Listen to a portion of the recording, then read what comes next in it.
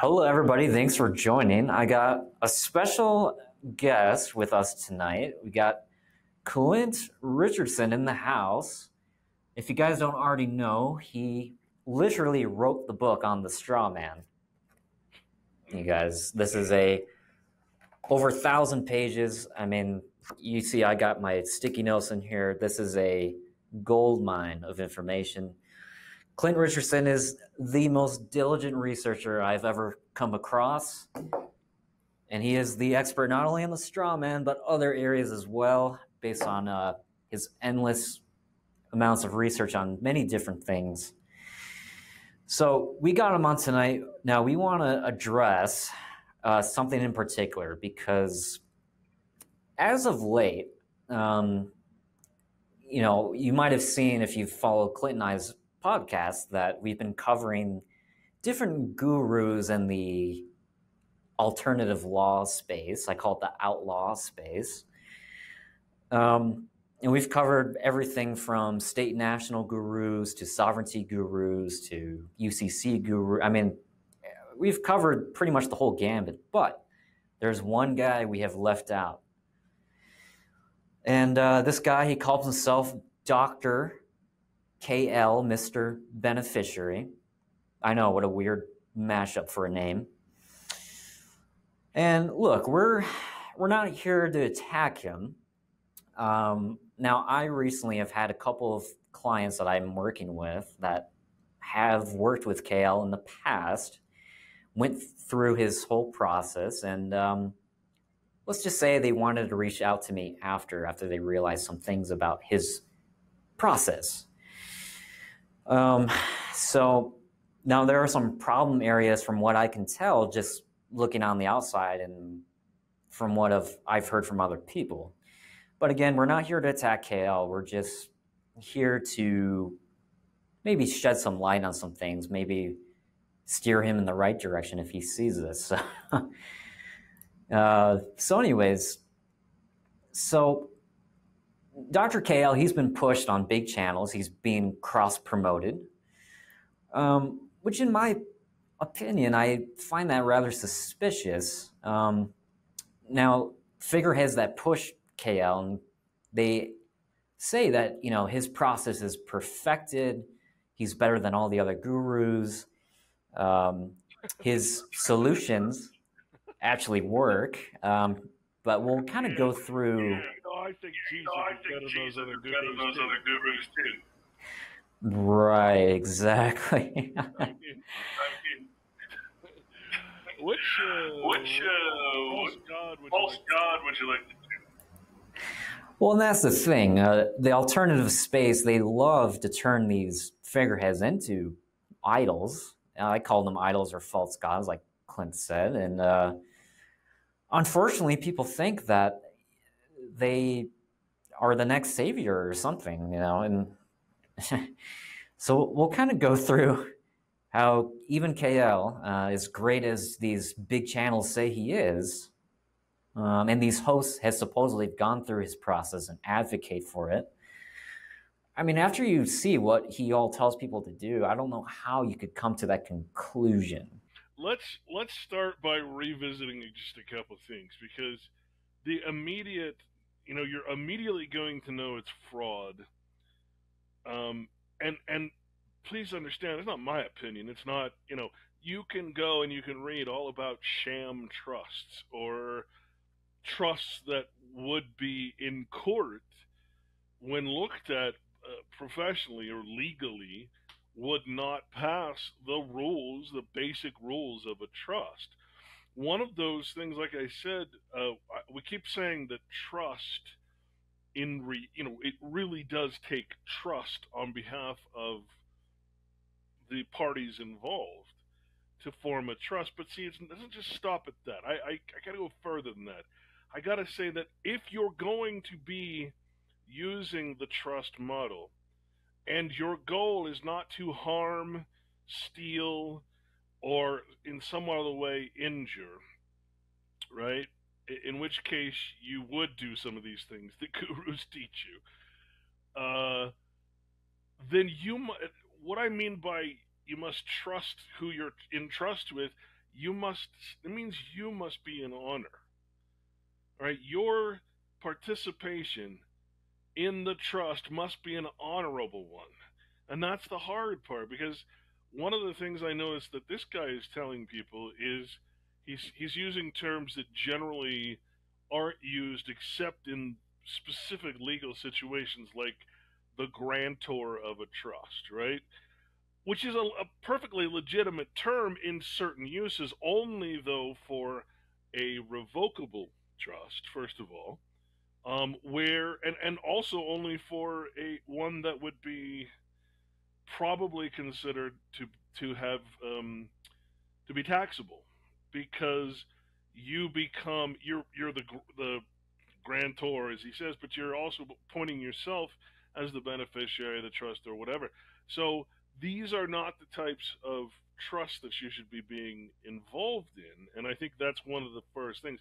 These are not the same kind of things that you would want on the private side of things. These would be very more like these would be more that you'd go to an attorney for, right? You'd go and you'd. Uh, uh, another way of saying that is it would be more for people you don't trust, or it would be for yourself to have some gain where you're trying to avoid taxes or estate uh, fees, estate taxes, that kind of thing.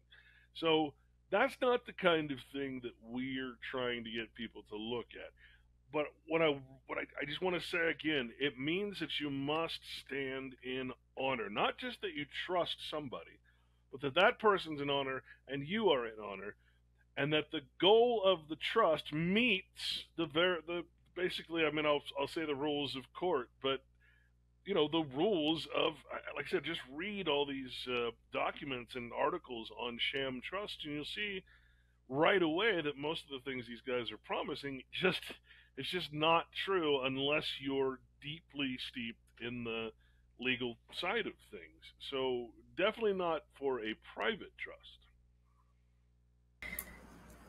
Yeah, your point. Um, now there there can be grantors in both a revocable and irrevocable. Um, that's the person who's transferring the property over to the trust, right?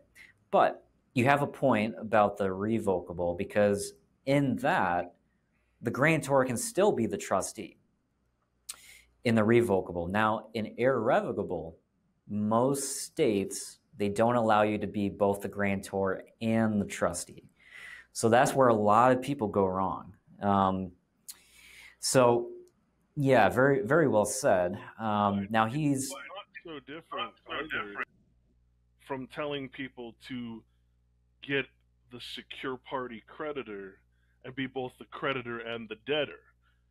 Yeah, it's a similar, you know, false dialectic that they're creating that you can somehow be the opposite of what you actually are in the in the trust or in the the, parties, you know. It's just you can't be both parties. And yet that's what they teach.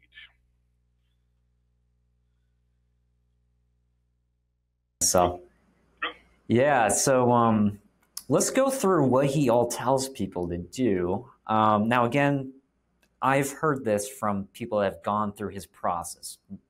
Maybe I'm incorrect. Maybe they're telling me the wrong thing. I highly doubt that, but just saying this is allegedly what I've heard, okay? um, let's see. Let me pull up my notes real quick.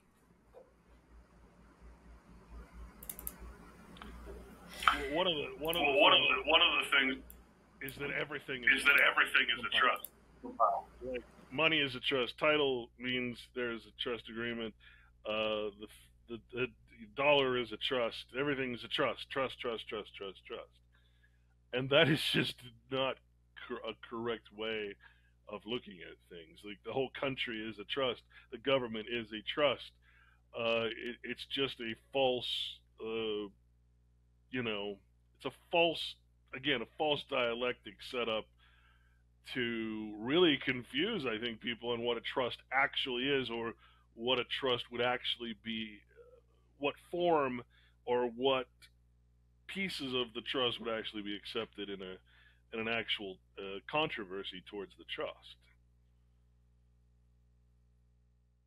Yeah, exactly. Uh, he's one of these guys that says everything's a trust. It definitely is not. Um, court is a court is Right. He's one of these people that says even courts of trust, which is completely ridiculous. Okay, let's uh, we're gonna put that myth to bed because uh, if everything was a trust, the world would be a much different place, and it wouldn't it wouldn't be practical either to use a trust for everything. Um, so, anyways, uh, so what he all tells people to do now, this is from what I've heard secondhand. Okay from what I've heard, he has you form a what's called a private business trust, which I hate to break it to you guys, but there is no such thing as a private business trust. Um, and it's actually on the IRS's, uh, uh, what do they call it? The uh, scam trusts. They have a list of scam types of trusts, and uh, they tell you clearly on their website a private business trust does not exist or is recognized um, either by the legal system or the IRS itself. And some people might hear that and think, oh, well, that's a good thing. But no, all the protection you think that would give you, it wouldn't give you any type of protection at all. In fact, um, from what I've heard, he doesn't even have you guys use the trust how a trust should be used. He's and now, this is not only him pushing the private business trust. He didn't invent this. This has been a myth that's been spreading the last couple years. And essentially, a lot of gurus push the private business trust as hey, you don't need an LLC uh, to do business. You can conduct business under a trust. And let me tell you, that is a complete misuse and misapplication of what a trust should be used for. Now, remember, guys, a trust, it's not a magical remedy for everything. Um, it's only a tool for estate planning purposes. Okay. You can't run business transactions through it. It would be stupid to do so. It's going to raise red flags with the IRS right away. The bank is going to raise red flags with the bank. Uh, second of all, why would you do that? The, the trust is not designed to deal with the public.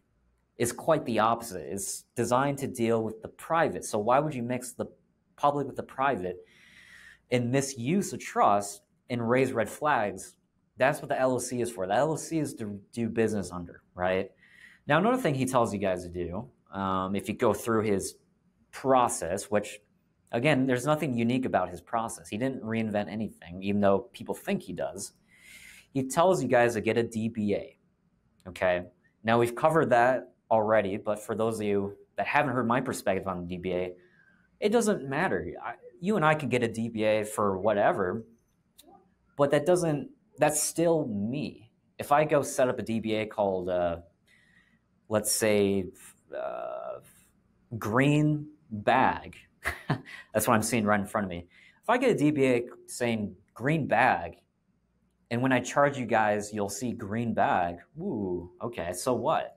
That's nothing. You still have to sign off with the Secretary of State to get the DBA. Someone has to sign for it, right? So it doesn't give you any privacy. That's still you legally. You're just using a nickname. The question is, the question who is who or what, or what is doing business as Greenback? Who or what? Who?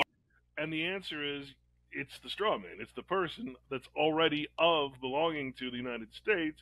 Therefore, you're liable to the public law. You can. This not. This, you're not gonna. You're not gonna leave the public, or you're not gonna leave the matrix by using a character in the Matrix, right? You, you, to to do business as means you, meaning the person you are agent for, are basically you're using your person. You're signing with your name and your social security and all that, and you're getting a doing doing business as that does not in any way alter the source of the uh, the transaction is still reverting to the person because without the person, the DBA would have no. There's no, no liabilities. No, there's nothing to put it back on. So no, they're not going to. But then privately, uh, outside of the United States, it's a whole different story, right? So that's why you recommend the LLC model. But it's just again, you got to remember if you're signing your name to anything What is that name? It's a person of the United States that you're using in a guarantee or a surety, sort of as a, and so you're bonded. You're responsible for it. You're you're in liability for anything that. So what? You're doing business as another name. It comes back to the name that you used under it. So no, do not do business as because you're still doing business as Clint Richardson or Brandon Sterling or whatever. Yeah, exactly. Uh, someone in the chat says uh, in Minnesota, DBA separates you as the name holder. Yeah, it, some secretaries of state that don't require you to sign off on it, but it doesn't matter because that doesn't give you any liability protection. If I was under any controversy attached to my DBA, I'm 100% liable as a straw man, right? So doesn't matter even if you have your trust or your LLC sign off to own the DBA, it's still going to be attached to you either way. So it also goes back to the law of agency because now you become, in a sense, the principal of that new uh, agent, and so you're that agent that do, doing business name is doing business in in your purview, and you uh, uh, you are acting as now the principal, but you're still the agent of the main principal, which gave you the name in the first place. Remember, the agent is not responsible for the actions of the principal, right? Right. Exactly. Now, the next step after the DBA, he tells you to open a sole proprietorship bank account, which same thing. Sole proprietor is just you. That's not a legal separation like an LLC can give you. It's you doing business under your straw man, right? So again, that's a horrible idea. No one should do a sole proprietorship. If I'm doing business under a sole proprietorship, there is no legal separation. If there was liability to occur, I'm 100% on the hook. Very uh, unsimilar to an LLC, right? So again, you you mean your estate. Your yes, that's personal everything. Exactly right, which obviously we don't want. There's nothing private about that. Mm-hmm. So now he, and then after that, he tells you to form a corporate sole. Oh no which uh, Clint and I, we've busted through that whole thing in our uh, 508 videos that we've done. Um, the corporate sole it, it works, can. It, it works for the queen. Okay, she's a different corporation sole in whatever province. She's the queen and right of freaking Canada right? That's a different corporation sole. Then she goes to a province. She's the queen and right of Ontario, and she's the queen and right of Australia. And these are all different corporations that she appears as a corporation sole. What the corporation sole does in a church type of situation is instead of incorporating the whole thing, you're only incorporating the the the the building, right? You're not incorporating the people, in other words. Which is why the Catholic Church, the Mormon Church, can openly participate in politics. Okay, we're not arguing that corporation soles don't exist or you know it's that again it's kind of like UCC or anything else. These stuff these things are not designed for the little guy. Now if you if you form some mega, mega church and you want to you know do as the the big you know powerful royal bloodlines do well then by all means. But for your personal stuff the corporation sole model is another thing that you'll find uh, listed as one of the scams that the IRS is very aware of. So be very careful. Yes, on their website, the IRS does go through that. They're very well aware of this scam that people try to use to get out of taxes using a corporate sole. Um, so don't mess with that unless you're an actual 501c3, right? Which none of you guys are, from what I can tell nor should you. I don't advocate 501c3s at all. Um, so, anyways, that's another problem. Again, how many times they're not private? Exactly. And just to cover a basis, there is no such thing as a 508. Okay, it's a provision for 501c3s that are recognized by the IRS. It's not its own independent thing or entity or structure. Okay, so that's another scam. We've busted through that in our previous video. Um, So, anyways, now next thing he does uh, is tell you to put on a UCC one lien on your straw man. Okay, and again, this is what I've heard secondhand, but this is what they told me, people that have worked with him. And then he says, become a 19 or a pre 1933 Alabama state national. now, Clint. Uh, is that Anna von Reitz? Right. That's that's the thing. He meshes in stuff we've heard from Anna von Reitz, David Straight, all of these different. Uh, he's again, uh, he's just repeating the same stuff. There's nothing special. Um, yeah, and, and, to be clear, in my videos, I debunk. I even read a court case where the judge calls Anna von Reitz a self-proclaimed false judge. She's not a judge. She's just, she's calling herself that, and basically calls her out for being full of crap. Um, I also have her saying that state nationals don't exist. That's her own creation. There is no recognition by governments around the world of anything called a state national. And to understand that, you have to understand, first of all, a national, that's a spiritual thing. It's not a, it's not even a real thing. It's like a, it's like a spiritual connection between people. That's what a nation is, right? Then you have the nation state, which is the United States or the United Kingdom, of which you are a national of, but that is a completely different type of corporate structure. It's not the same as the spiritual thing. The spiritual connection between people. We're no longer a people. That's the whole problem. Before, you know, they trick every country in the world to forming a republic self-governing republic where the people are the government, and then you know a matter of months or years later, they come in, they form a constitution, and same thing with every country. Constitution is formed, Constitution of Bangladesh in 1972, Constitution of this, Constitution of that, and that creates the nation state, which is an internationally recognized, perfected. Uh, in other words, the debts are now perfected and recognized by the international body and now you have no longer government of the people, which would be a nation. Now you have a nation state, which is a corporation that rules and actually militarily defeats, conquers, purchases the people, and then.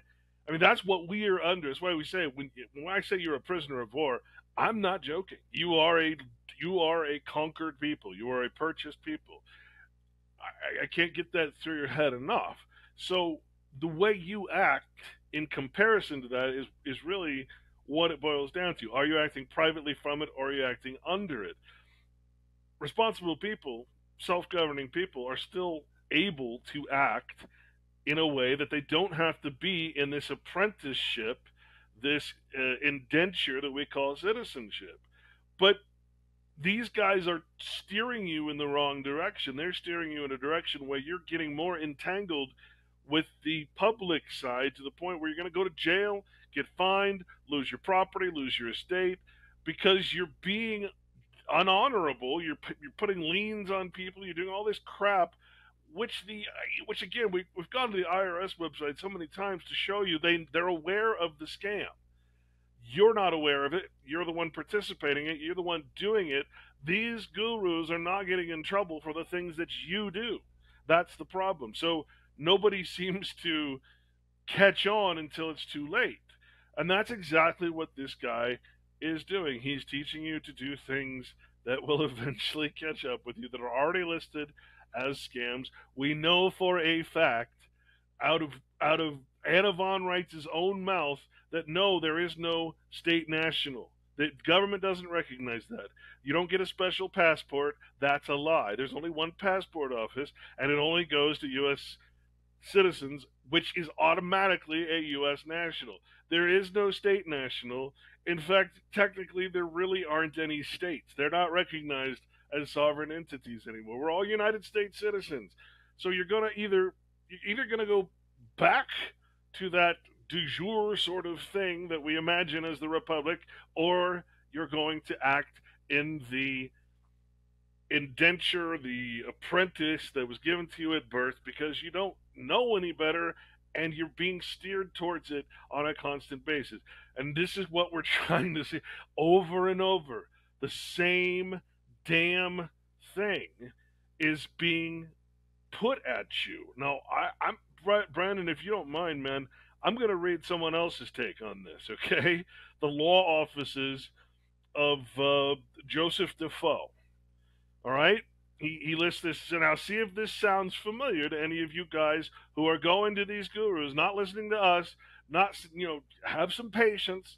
Let's figure this out together. Don't don't just go press the button and see what happens. Right? Let's learn. Let's figure it all out together. Let us get something together that is actually going to be beneficial for everybody. He says the the pure trust scam. Sound familiar? The so called pure trust, also known as the constitutional trust or the common law trust, amongst many other names, is neither a pure nor a legitimate trust. It is a scam and continues to be perpetuated for upwards of 50 years now. Part of the tax protest movement that's going on for 50 years, just as we said. It's it's rinse, wash, repeat. Improve, make it sound even better. Promise a little more money, a little rain gold at the end of the rainbow, and you're you're suddenly following a rainbow that doesn't exist. It is promoted as asset protection against creditors and income tax freedom from the IRS. Not one time have we said this is a tax shelter or that you're trying to avoid taxes. You're trying to be private from it. you're not you're not opening something in the public and saying, "Okay, I'm protected from the public." That doesn't make sense. Okay? Unfortunately, the opposite is true. The California courts and the IRS have been combating these trusts for years. See People versus Lynam, L Y N A M 261, C A L A P P 2D 490 in 1968. All the way back then, folks. That's how long this has been going on. IRS Notice 9724. You want to look that up, Brandon? IRS Notice 97 24 at uh, irs.gov. So he says, let's unravel the mystery. According to Pure Trust promoters, American English common law allows the creation of separate legal entities into which anyone can irrevocably transfer their property or management, or excuse me, for management and protection by others, as the entity is created under the English common law and not any state's own statute. We're not saying that. The Pure Trust is allegedly uh, independent of any state sovereign law. No, no, no, no, no. It's not subject to, to any state law. No, that's not what we're promoting, nor answerable to any uh, legal enforcement under state statutory laws. The promoters argue that the United States Constitution and certain U.S. Supreme Court cases validate pure trusts. I'll tell you what it does validate. It, it validates privacy. All right, I mean it's, it's big difference. As anyone with formal legal training recognizes, however, the proof is a very misleading and purely argumentative. There is no true legal support for the pure trust as they are drafted. Promoters often use guile and charm. I sound familiar? I know I'm not very charming. I mean, I, I don't try. Right? The truth isn't very charming. Promoters often use guile and charm to deceive people wanting to believe all the good things about pure trust. Not attorneys themselves. They justify uh, avoiding licensed attorneys, right? Avoid licensed attorneys. Do as we say, not as they do, because attorneys only prepare ordinary statutory trust under state law. Okay, now we, we I was just talking to Brandon a while ago about private banking, about all these different things that no, these attorneys do actually participate but again, as George Carlin said, you ain't in the club. And until you get in the club, you ain't going to be helped by any attorney. Attorneys either do not understand pure trusts or they do not wish to let you in on their inside secret. Well, there's a little truth to that. like the story of the emperor's new clothes, however, many people simply are unwilling to admit to themselves that they do not see what in fact does not exist my God. When it comes to the lack of legal substance, yes, ladies and gentlemen, the emperor really is exposed when it comes to pure trust. So, what is the truth? The truth is these trusts are shams. As I said, a sham trust, go look up, uh, that can get you into a great deal of trouble with the IRS. They otherwise create a great legal mess. These trusts will not provide you with any legitimate asset protection against your creditors. Uh, moreover, as these trusts are not drafted by attorneys, they are technically deficient in how they operate. So, even if they potentially provided asset protection and tax minimization, talking about the, the public aspect of it, right? The internal flaws of these trusts make them hard, if not impossible, to administer. And that's what it boils down to. When you see a sham trust, it's because it can't be administered, because he who formed the trust was not clear or asked for something that was not uh, covered by trust law, right? It, it, it, there can the trust be administered? That's the question you've got to ask. Now, if I have a trust and it says uh, I'm a member of a fictitious common law state sovereign national state national thing and here's my national passport to prove it well that's not it's impossible to administer because there is no such it doesn't exist how do you administer a trust with a, an executor or a trustee or trustor that in fact is basing his identity as trustor on a fictional thing that doesn't isn't even recognized in either local or international law. You you cannot administer a sham trust. All that glitters is not gold. Make sure you secure your future wisely rather than buying into something that really is too good to be true. I think that's a very, very simple way of saying stop being dummies. Stop stop going to people who are using terms that you know we've already dismissed as purely fraud, right? But stop going to these guys that are using tax movement, tax protest movement things. Stop Stop trying to do something that is, I mean, for God's sake, go read some trust law. Go read some cases about trust. Read why trusts were not allowed to exist past the life of the of the one who created it, right? Why the estate goes to probate instead of being in a trust. There's there's so much information out there. You'd be, I mean, and look, I okay, even when it comes to myself or Brandon, you should not be just going to Brandon and say, hey, create me a trust. You should learn. You should learn what are the fundamentals of a trust. What is the grantor, the successor, the I mean, what are all these terms that go along with it? How do they apply? Will they apply in my case? Um, is it are, am I being charitable or am I being greedy? Uh, right, it, which never works. It, it's just you gotta and or am I acting like a corporation that's that just wants to profiteer off of the misery of others?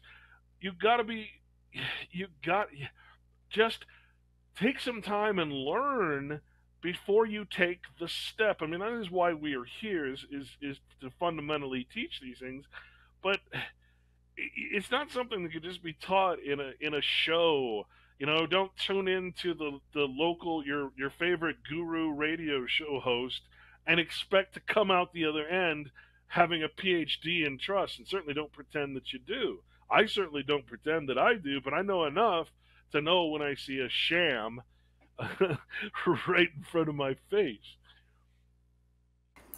Yeah, very well said. Um, someone recently shared with me, uh, Beth Martins actually, who's here in the chat. Uh, she shared with me the book called The Art of Passing the Buck or something along those lines. And I spread read through the first part, and let me tell you, I could already tell it was a sham book by the first few pages. It was pushing the common law trust, how it's not statutory, all the stuff. Pure trust, a pure trust that I just read about, also called common law trust. Was it a constitutional it trust? yes, actually, yes. And um, now KL, he, eh, I'll give him this. He at least knows not to use common law trust. So he's trying to use this private business trust format, which again doesn't legally exist or is recognized. Um, and I just pulled up the IRS website's opinion on that, and they certainly will scrutinize that. They have plenty of times. It doesn't exist. Um, so, a very important thing to understand about trusts all of the 50 states have adopted uniform trust codes and adopted statutes regulating trusts.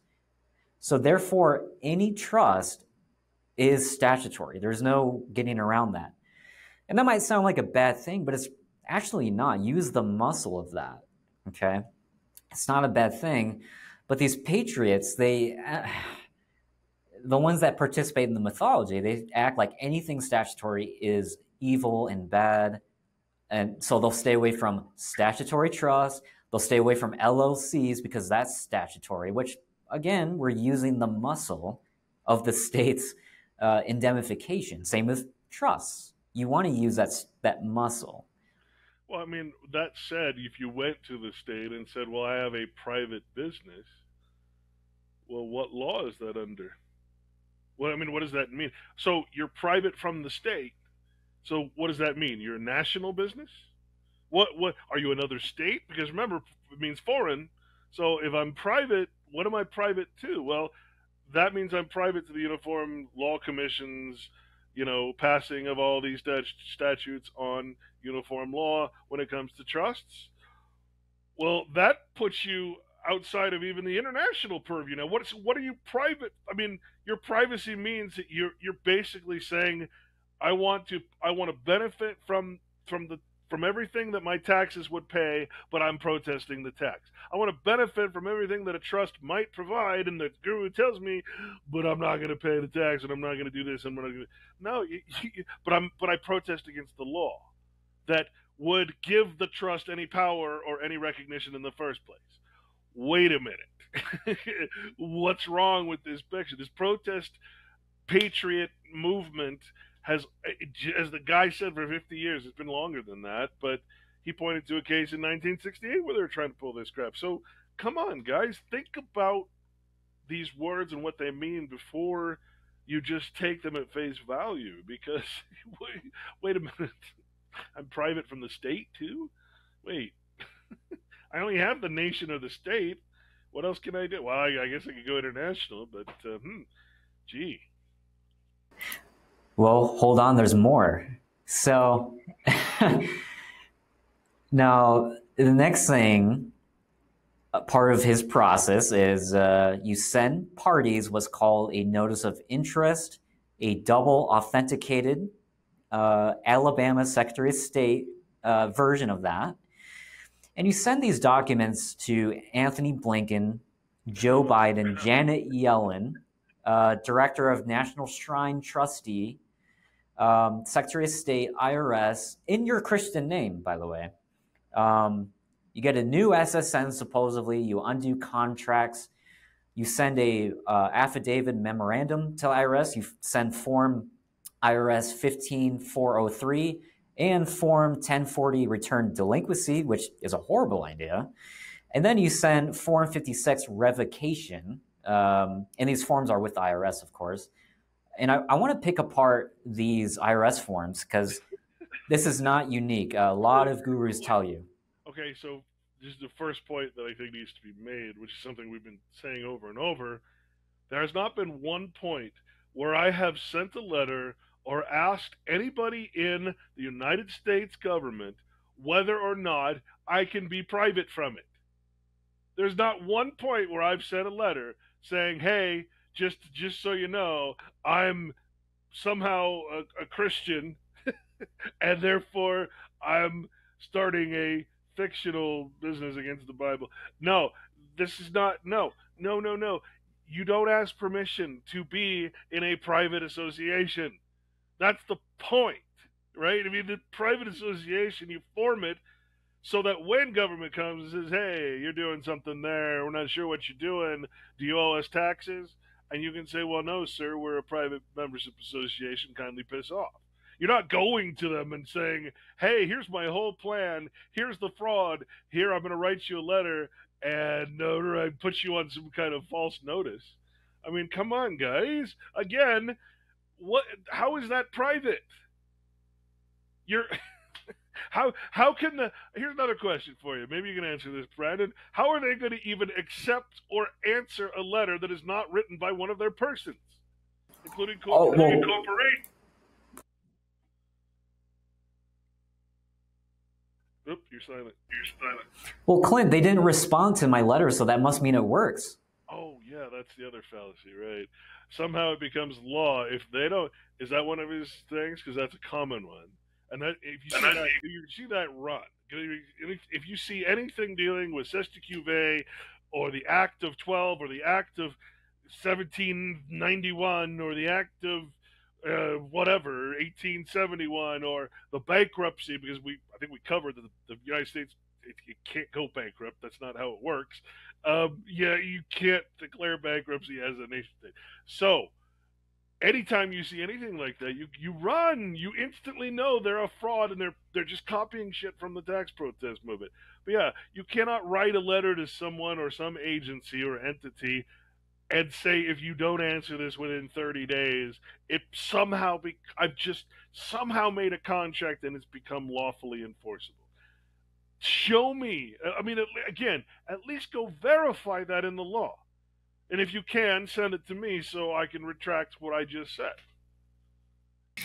Exactly. They don't even understand what constitutes a contract uh, or makes it binding. So, anyways, um, now I want to get into the the IRS forms that not only he, but other gurus tell you to fill out. Now, not a single one of the gurus pushing the revocation of election uh, with IRS ever seemed to have any evidence that the IRS accepted their revocation. And the only proof of success has been claims from people that they haven't heard from the IRS ever since they sent the IRS the ROE.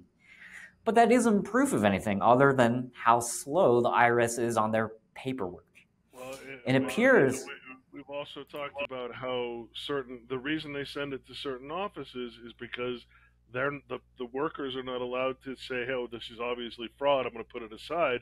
They they're required to file what you send them, so they say, "Don't send it to the proper office because they'll actually challenge it. No, send it here where they know it's going to get filed. It's going to go into some file, and it's not going to be found for five, maybe one, but probably you know three, four, five years, maybe ten years. When all of a sudden you get this massive tax lien on your property, and they take your take your estate to pay for what you did ten years ago that was completely fraudulent. It's either that or what, go to jail or right. So the important part, as I said, is they they tell you to send it to a certain office because they know that that particular agent that you're sending it to has no power to challenge it. They're required to enter the paperwork without question and they don't touch it again. It's gone until someone finds it later on. Right? And then right, course, and then, then they tell you, well, if they don't respond, you know, then it's uh, such bullshit, man. It, it is. And it actually appears the IRS is starting to clamp down on this revocation of election you know, shit. For the, first, for the first time in my life, I, am I'm I'm, I'm kind of let go. I, I, hope they do, because they, they need to leave regular people alone and go after stupid people. exactly. Some people I have been informed that did this who sent the Form 56 revocation of election received from the IRS was called a 3175 letter from the IRS warning them that that correspondence they sent is based on frivolous tax arguments, which the IRS has a whole page on. Just look up IRS frivolous arguments, okay? And then in this letter from the IRS, they tell you that the IRS will not respond to further correspondence making frivolous arguments and in that uh, IRS failure to respond means that the IRS uh, aggressor accepts or acquiesces to such argument. So if you were to send a revocation of election letter for a collection due process hearing or an offer in compromise, this document could be penalized by the IRS for $5,000 as a specified frivolous submission. Okay, that's what they call it under our IRC section 6702. So the IRS sending a 3175 notice in response to a revocation of election letter. In the IRS's perspective, that establishes evidence that you were warned that your Form 56 letter is, well, frivolous. And so the IRS, they're going to penalize these documents without warning or giving you a chance to withdraw the frivolous document to avoid the penalty. So just realize the can of worms you're opening if you try to mess with this stuff. I mean, the revocation. I Go just ahead. want to. I just want to say, look. I mean, we we can joke and we can say things. uh, We're here. I'm not getting anything for this. You know, I'm not. I'm I'm I'm a poor researcher, and I like it that way, right? I don't I don't like receiving things for what I do. I actually, whether it seems like it or not, I give a shit. I care that people are being harmed by these people. I really care that shows that I've been on, like Rice, are. And I said, look, I don't even want to want to talk about this, but I think it's the fruition of all my years of looking. I knew to teach privacy. I just didn't know how to get there in this in this methodology, right? And it really upsets me that that I'm like, but but don't you know? Keep it reasonable. Keep it on the. Don't go searching for gurus. Don't allow this to get out of hand. Uh, because I shouldn't be talking about it. This is the reason that people don't talk about it because it's a completely different mindset. It is something that I don't think most people can even. I mean, we're so brainwashed, we're so controlled, we're so conditioned that I don't think most people can come out of the matrix enough to actually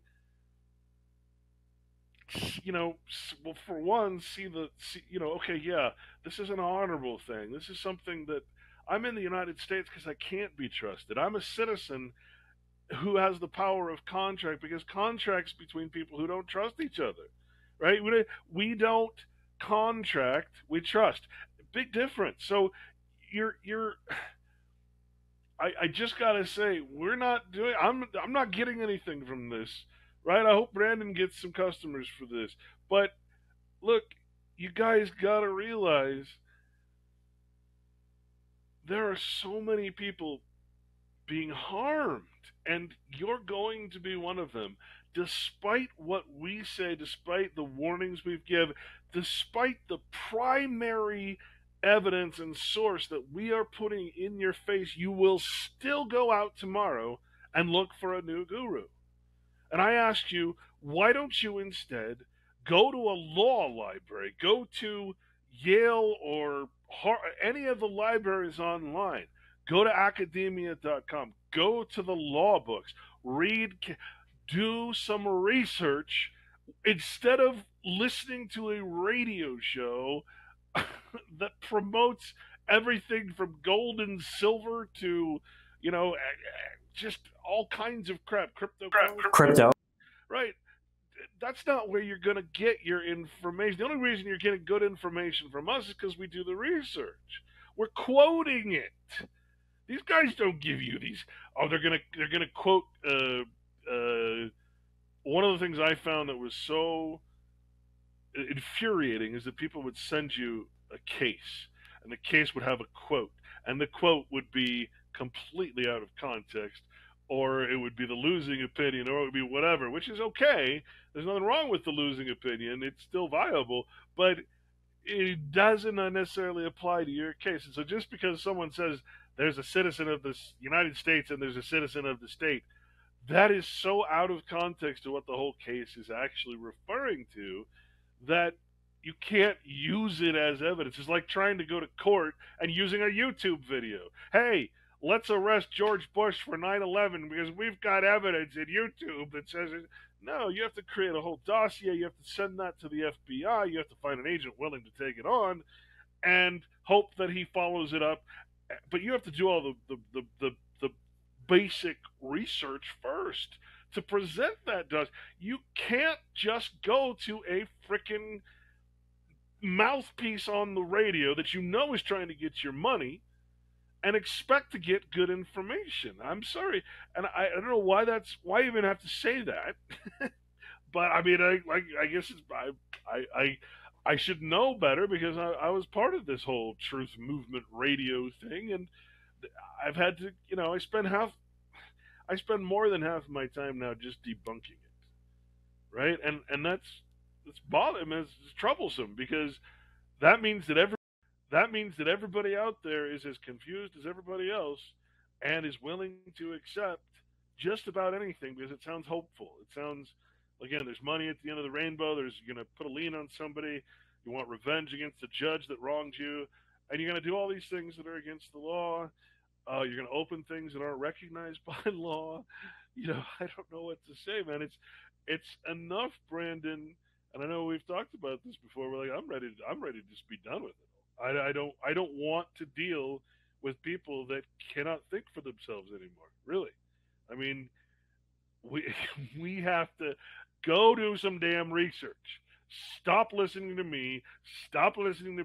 Go do research. Go find out what a trust is before you take the plunge. Just please. exactly. I'm really. I've been over the alternative movement for quite some time. I've divorced it a long time ago, and I think you guys should too. Uh, there's nothing that's there's nothing good that's come out of it except confusion and lies and uh, false gods. So, so anyways, back to the various various rehash of the text. Exactly. So one last thing about the revocation of election. Um, this can and will be used against you later in a criminal prosecution to display your violation of their tax law. And it was intentional because they previously warned you that your position was frivolous. And if you didn't try to fix that, that's going to go against you really badly. So, again, just like Clinton was saying to you guys earlier, I urge you before you do any of this kind of crazy stuff, do your due diligence, please before you even pay these gurus. Also, you know, that's the same as going to court and saying something ridiculous like "I'm a man" or uh, "I'm not the person." The judge instantly knows. You know, if you go in there and the IRS has already warned you and you proceed anyway, the judge is already going to have a massive prejudice. against. He's going to know that you don't know what the hell you're doing. He's going to use words that you don't. You're not going to have any idea. You're going to try to. You're going to be like, "I'm here to represent myself," and blah blah blah blah, and and you're going to have this massive prejudice already built up upon you because you one you ignored a notice that said you were in fraud and, and probably in felony, and two you're using terms that aren't even officially recognized in legal settings or court procedure like state national or private what private private private business trust which um yeah yeah yeah it, it, I don't know you're, you're just going to have this massive prejudice against you, and and at that point you're you can't come out from under it because your ignorance has already been shown as to way the way things really work, and you're trying to you're trying to do things that only the big boys do, only the only the organized criminals do, and I don't recommend it. I don't recommend it. Stay in honor. Stay with us. Stay, you know, do this only because you want to be a good person, a good, you know, uh, leader of your community because you want to co-op with other people because you want to form a private society somehow some way. But or do it the right way which is to get the proper type of trust to protect your assets and that but all of this stuff that has to do with you know when it comes to protecting yourself or you know these promises that are made by these guys they're obviously not true but I think there's this we used to call it hopium right? There's this hopium that they're injecting into you through their through their glamour and their you know they're pretending to be good people and they're just not good people, man. They're they're just looking for the next scam to sell you. So, I, like said, I, I it's very frustrating to be in this position, you know. It really is. Um, now, I want to share a video about this business trust scam. So, um, now, understand, just to make sure you guys are clear, there is no such thing as a business trust. Now, I use trust uh, to hold membership in a LLC, but it doesn't mean the trust itself is a business trust. It's either going to be revocable or irrevocable. Um, there's no special like type of unique structure that I'm using. It's been used for years and years and years. We're not reinventing the wheel on trust. We don't have to. So I'm going to share my screen with you guys. And uh, mind you, this is going to be from some attorney, so I don't agree 100% with what everything they say, but you guys will see. So, all right, business trust organizations. I don't know where to start. Can you guys hear that, by the way? Hear it. Hear it. Oh, there it goes. Genesis Oh, there it is. goes. All, all we know is that we got a heck of a lot of people that come to us thinking they need a business trust rather than an LLC or an S corp, or they want to need a business trust rather than an IRA LLC.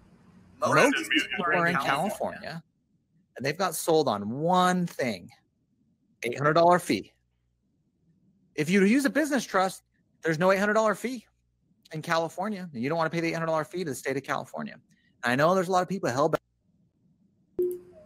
So the $800 fee that he's talking about is when you set up an LLC in California, every year you have to pay the California Tax and Franchise Board the $800 fee just to have an LLC in California, which I recommend even if you're a California resident, do not set up an LLC in California. And a lot of smart Californians don't. They'll either set up in uh, a, in a they'll always, if they're smart, set up in a different state there's some intricacies on how to do that properly, but a lot of the smart people do that, and that's perfectly legitimate. So, anyways, just to address that confusion, if there was any. Uh, on that $800 fee. They will do anything. They will spend $900 to save an $800 fee. Let me just to make a couple points. I don't know any attorney that really sets up business trusts for the typical small business, for rental properties, for IRAs that stands by them. I just don't run into them. You never hear other lawyers talk about them. We don't see high, super high net worth clients, any sophisticated clients. that's the biggest thing, right? I- know quite a bit of high net worth people, and let me tell you, they are not. They don't even know what a business trust is. They don't care, right? It's completely irrelevant. using them. The only ones we see using them or that bring it up are ones that got sold it from someone who's not an attorney, who sells it at a Holiday Inn, trusts for asset protection, and all this. They don't work. I can't tell you how many issues I've had with clients that have set these up, that have bought properties with them. They go to sell them. No one knows what the hell it is.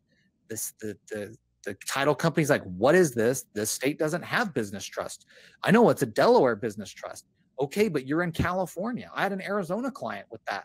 They're like, yeah, we don't recognize that here. They wouldn't transfer the property. The person had to unwind the whole thing, deed the property back to the person they bought the property for, have them deed it back to them into a new into their So just imagine doing that, using the business trust, and then having to do all what he just described, having to undo it, change the title over, and then try to change the title again.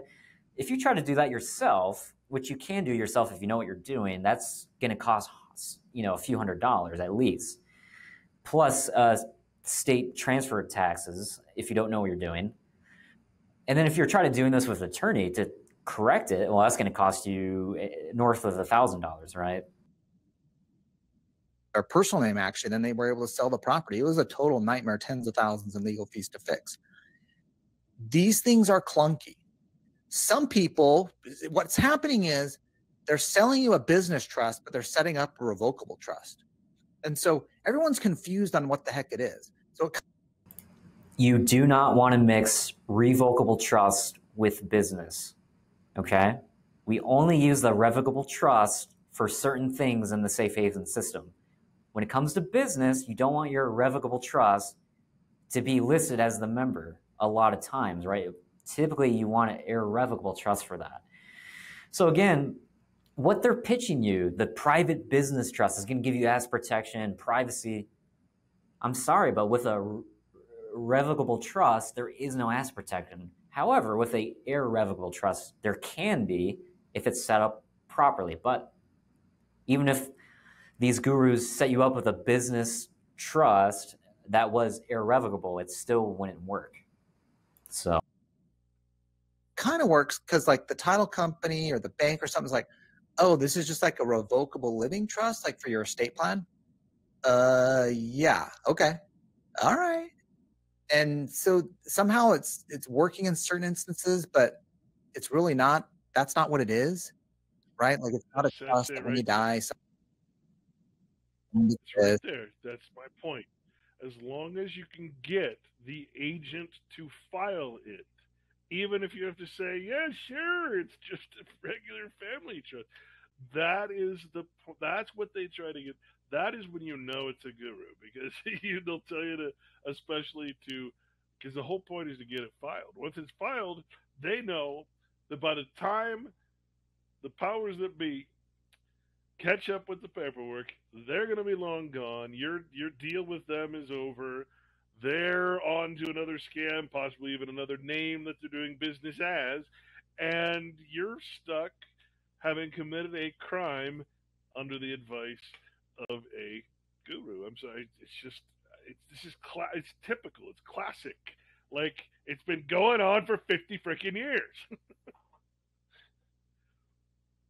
it's I mean, you literally can't make this up. Um, but unfortunately, a lot of these guys have.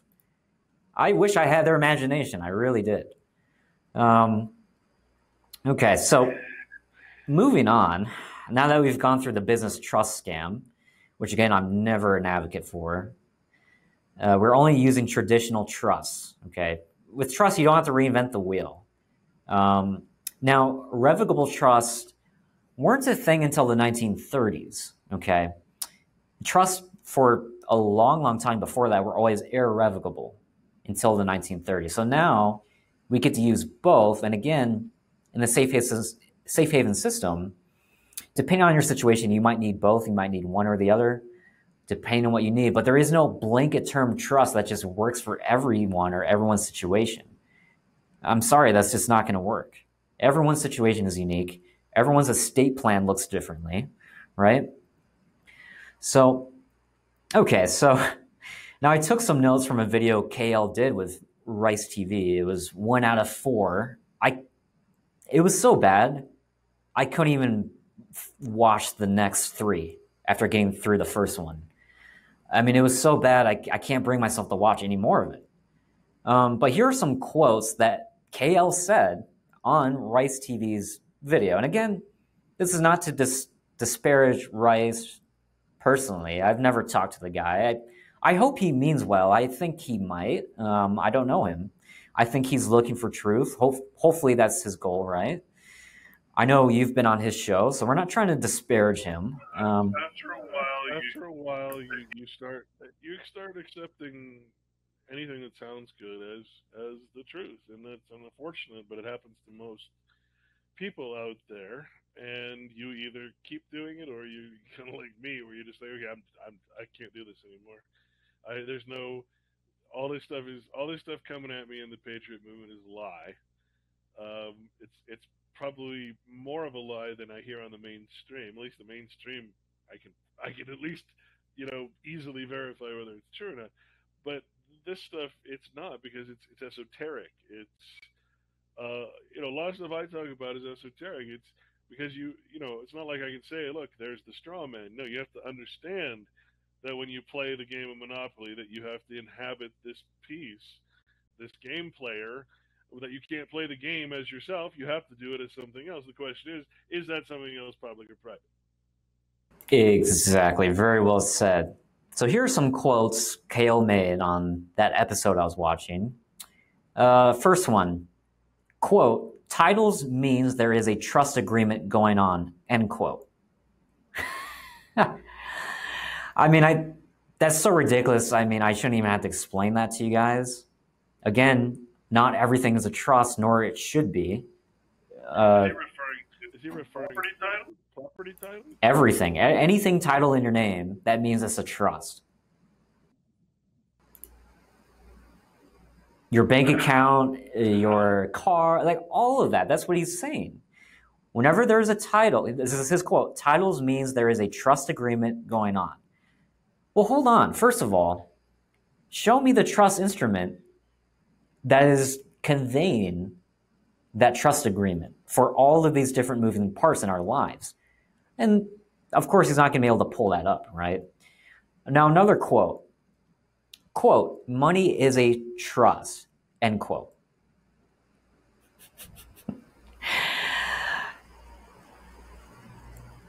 Um, money is definitely not a trust. So, Coin, I know you've talked about uh, how on the dollar itself, it says for public and private, right? Yeah, yeah, but I'm also like just going on this. I'm thinking, okay, my just just my bank account for my bank account is a trust. Anything that has a title, which yes, that would be qualifier. Have you ever? Have you ever? So let me let me just let me just ask you this here, because this might solve the, the equation here. Can I get insurance on my trust? Um, Can I get insurance? Can I get insurance that that, that the that the trust store trust will store do? will do what he's supposed to do? I, there there is some things you can get insurance for in a trust, but it's it's not. I don't think I don't really think that not not for the not for the experience of being in a trust. You could form an insurance trust. They call it an LI LIIT, an insurance trust, which is an irrevocable trust set up with a life insurance policy as the asset, allowing the grantor of the policy to exempt assets away from their taxable estate. But I mean, and that's a trust that is basically the insurance. I mean, it, but you don't really get insurance on the notion of a trust. Now you have consumer protections, you have insurance, but yeah, the to say that that when I go to a store and I give the clerk money and he gives me a he I purchased, meaning take over the the the the, the asset that that in question we've made an exchange right? That is not a tr- that's not a trust in any way. It's actually sort of the opposite of a trust. Because in in a trust i'm not doing a transaction right? Now that that transaction can have insurance attached to it. It but it's not a trust there's no trust going on that's why we have all these consumer protections and all these fraud uh, agencies and why the IRS is putting out all these fraud alerts. These things aren't trust. Like- like, like again, why would I? If it's trust, then I don't. I, I've gone beyond the need for an insurance policy to guarantee the trust. Something about that just doesn't stand in any way that makes sense because you're you're not in that system of insurance anymore. And if if you are, it's because you've put the policy itself, which is worth money, into a trust. but you're not you don't ins- like I, I I don't know what to say. Like I can't. Uh, I'll put it to you this way. This goes back to the the honor and the trust thing. You the legal law cannot enforce good behavior. It can only punish for bad behavior. It can only require bad behavior. That's what it does. It can require that a contract be fulfilled, but it cannot require good behavior. It can't make you. That's what the moral law is. That's what the law of God is. That's that's not something that is the purview of the legal system, and that's actually a maximum law, right? And so these two things are, at least what we're talking about, are on a completely different level of consciousness, let alone of law, right? Most of this law doesn't apply to it because it's not in the public purview. And if it is, you've done something either mistakenly or, uh, you know, you've purposely created a public, a, a public trust. I mean, so this whole thing is just bothering me. Yeah, and to touch on the insurance thing, yes, there is a type of trust you can use for that, but most of us, you don't even need that. You can actually make the beneficiary of your life insurance not your heirs. You can change that out to your trust, revocable or irrevocable, either one, whatever one you want to use. Now, typically, depending on your situation, I'm going to recommend one or the other. But again, these things are very individualized and idiosyncratic. So now I want to go back to his quote titles means there is a trust agreement going on. Well, that's a complete, I don't even know where you get that from because most people holding title to their car, right? they're holding that under their straw man, right? So how is that a trust? Now, what you can do is switch the title from the straw man over to a trust. That would be a better application. But he doesn't even say that. In fact, he doesn't even tell his people to do that. So he's completely misunderstanding the use of trust and how to use them properly. Yeah, and if you think, yeah, and if you think, if you really think about, you know, it would actually make sense to, uh, okay, so I've got a life insurance policy. It's worth uh, however much. Um, that is putting that insurance policy into the trust makes a lot of sense. Uh, it's a it's an asset, right? It has a value, and you're putting it in the trust so you can manage it the way you're you're for your beneficiaries when they receive their inheritance. That way, there's no question of, of who's going to get it where it goes. It's it's in the trust, right? Whereas as otherwise, it's know probate and all that shit. But I mean, it actually this makes sense, but to to to reverse that and say that I'm going to get insurance on the trust. Yeah, you're right. He's he's he's misleading people. Yeah, and then you made the analogy. Now, we did a video back on the common law trusts, uh, probably like what two months ago, and we were quoting a guru that used that gas station example. Oh, me getting gas. Um, you know the the gas station cashier is the grantor. I'm the trustee getting the gas, and the beneficiary. It's complete. I mean, I don't even know how to.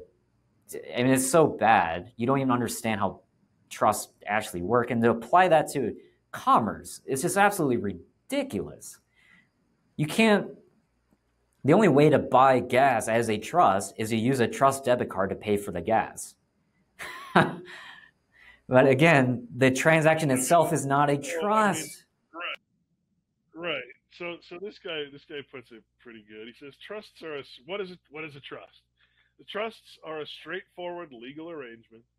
Right? None of this none of this magic guru stuff. It's real simple. And that's why, you know, from the day I met Brandon, I started asking him what I now realize were stupid Patriot mythology questions right? He's like, dude, just keep it simple. that's, his, that's half his answer is like, hey, it doesn't have to be that complicated. Just just think about, just focus on the the each chessboard player has a specific set of rules. One, the knight can move up and and he can move diagonally, and the queen, right? Just focus on that. Don't don't make your own pieces. Don't create your own rules and your own because those rules apply on someone else's board, not the one that you're playing on. So let's let's just go back. What is a trust? Straightforward, a legal arrangement that lets you leave assets to friends, relatives, or whoever you pick to be your beneficiaries. A trust is managed by one or more trustees, family members, friends, or a legal professional. I will probably ultimately who knows? I'll probably have Brandon handle my my trust that deals with all this, all my work and stuff, because he knows what I want. He, he knows I want to preserve my stuff um, until the trust pays out to your beneficiaries, which can either happen upon your death or on a specified date, which is when a child turns 18. Thus, you have trust babies who are wealthy beyond imagination but can't access the trust. You see it in movies all the time right? You don't have to actually die for your trust to pay off. Now, here's the confusion, and this might answer the question at hand. Your life insurance policy can be put into a trust, which is often referred to as writing life insurance in trust. One of the main benefits of this approach is that the value of your policy is generally not considered part of your estate. So I could see where someone could take the the legal term, which is a common term, writing life insurance in trust. Well, okay, I've I've just now rearranged those words in my head to, to think that I'm not you know that I'm insuring the trust, right? It's, it's completely different. You're putting an asset in the trust. That's, that's all you're doing, and then you're managing that to your uh, to to make sure it goes to the beneficiaries how you want it to go to at the time it, it, you want it to go to. But what he's talking about, I think, is a is a misappropriation of the concept of writing life insurance in trust. Am I too far off here? Well, KL doesn't mention insurance when it comes to trusts, um, but I'm sure he would misconstrue it. And um, but it's important to cover because people often forget to put their life insurance in a trust, which is often one piece they forget to do in their estate plan, and then the estate plan fails, and that part goes to probate because they failed to forget to put in some of their financial accounts, like a life insurance policy, stuff like that. Things like that, anything titled to your name, you want to put in a trust to avoid probate. If you don't, whatever's entitled to your name, not the trust, is going to go to probate. So you want to avoid that, obviously. Um, so I do give you guys a list if you do work with me, you know, everything that you got to cross off in order to properly fund your trust is what it's called. And that just means I titled everything over to the trust. I didn't have any loose ends, right? So, and again, uh, like Clint was touching on earlier, our whole point is to blend in, not stick out. Okay. You don't want You don't want your your trust or those who you are considering the beneficiaries to be put into a public situation. You want the smoothest transition from you being either alive or you know whatever your whatever whatever the death is a relative legal term it means end of contract or end of time period right so if i say i'm going to leave everything but not till he's 18 well, okay i want that to be a very smooth transition where no public uh, is even you don't even have to notify, right? You get the death certificates, whatever, but you, you're not even. Again, it, it really boils down to you're not asking permission. It's all in the trust. The trust is not what gives you that that power. The trust is what you show as evidence of your power to trust and uh, privately associate with your family, your friends, and everything. But you see, persons of the United States don't have inherent rights, don't have blood, and therefore you have to have a will or you have to do something like this. So, I mean, your your goal, as Brandon just said, is to remain off the radar, out of court, out of probate, and have a smooth transition because you've written a legitimate, non-sham non-tax protest trust and you're standing in honor and everything you're transferring is an honorable transfer you didn't kill yourself to get life insurance whatever you know it, it's all it's why why would you want to cause controversy why would you want to do these things that these guys are telling you to do and why for god's sake would you want to waste years of your life in paperwork battles with government. You don't, you don't. There is, you're you're not even filing hardly anything with government, let alone sending letters to the president by name, as if the you know, like I'm going to send a letter to Joe Biden, right? right? Joe but Biden. Joe Biden is Joe Biden. He's not president. He's Joe Biden. Why would I send a letter to Joe Biden? I would send it. You know, I don't know. Just I'm sorry. It just I, I, I, I, I again, I'm, I'm verklempt. I'm like completely flabbergasted that this has done exactly what I, I, I predicted it would. You start talking about private associations, you start talking about this stuff, everybody goes nuts, and now that's the new tax protest movement, or I should say, patriot mythology or whatever alternative false redemption movement, whatever whatever we're going to call it. I, I should have known. I mean, I I'm not saying I'm the first to talk about it. I'm just saying, all right, uh, you know, I shouldn't have brought it up. I shouldn't have. I shouldn't be been talking to it I, because it, it's irresponsible to talk about things unless you're going to offer all the information. And that's exactly what these gurus do. They are purposefully irresponsible and scamming you because they don't offer all the information. So yeah, I mean, again, this goes back to why private people remain private because I mean the the public idiocracy. I, am sorry, it's what what else can I say? Yeah, and an individual that worked with KL uh, that I'm working with now, I asked them, "Did you have an estate plan set up with this supposed trust?" And of course not. There was no mention of that. Everything was still titled in their name. There was no estate plan. So what's the point? In the name of the. So, yeah, exactly. It was the name of the straw man. So now you mentioned earlier that trust uh, distribution can be distributed when the heir is 18 years old. That is possible, but I tend to caution away from having it like that because just imagine when you're 18 and you get a windfall of let's say 20 up to 100 or more grand what are you going to do with it? You're going to blow it.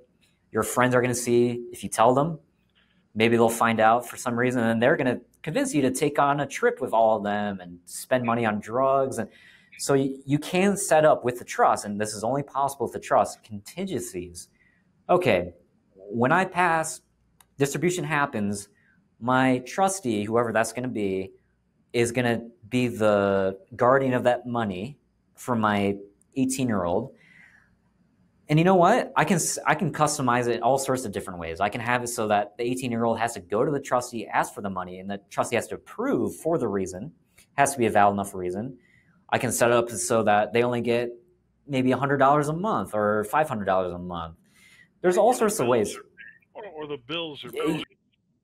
The bills are paid. Exactly. I can have it set so they get a certain amount at age 20, and then another disbursement at age 25 and then another disbursement at 30. I mean, there's all sorts of ways you can customize it. You can even customize it so that they have to pass a drug test in order to get the dis. I mean, there's all sorts of amazing things you can do with the trust. It's just, again, none of these trust gurus know about this or teach it. So, you know, unfortunately, it's uh, it's just reckless, and uh, and this is even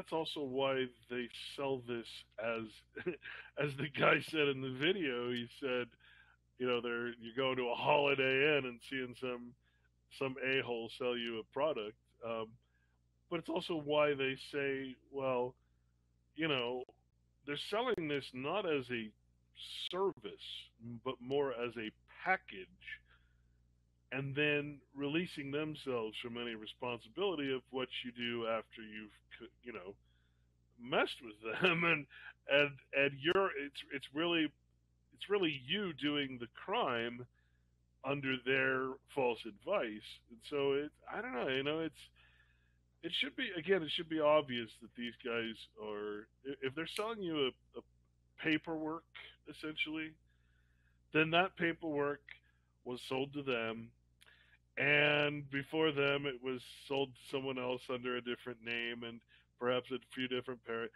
And you can date it back 50 60 70 years to the beginning of the tax protest movement. It's you're you're you're you're buying paperwork that's existed for generations that has always been fraudulent.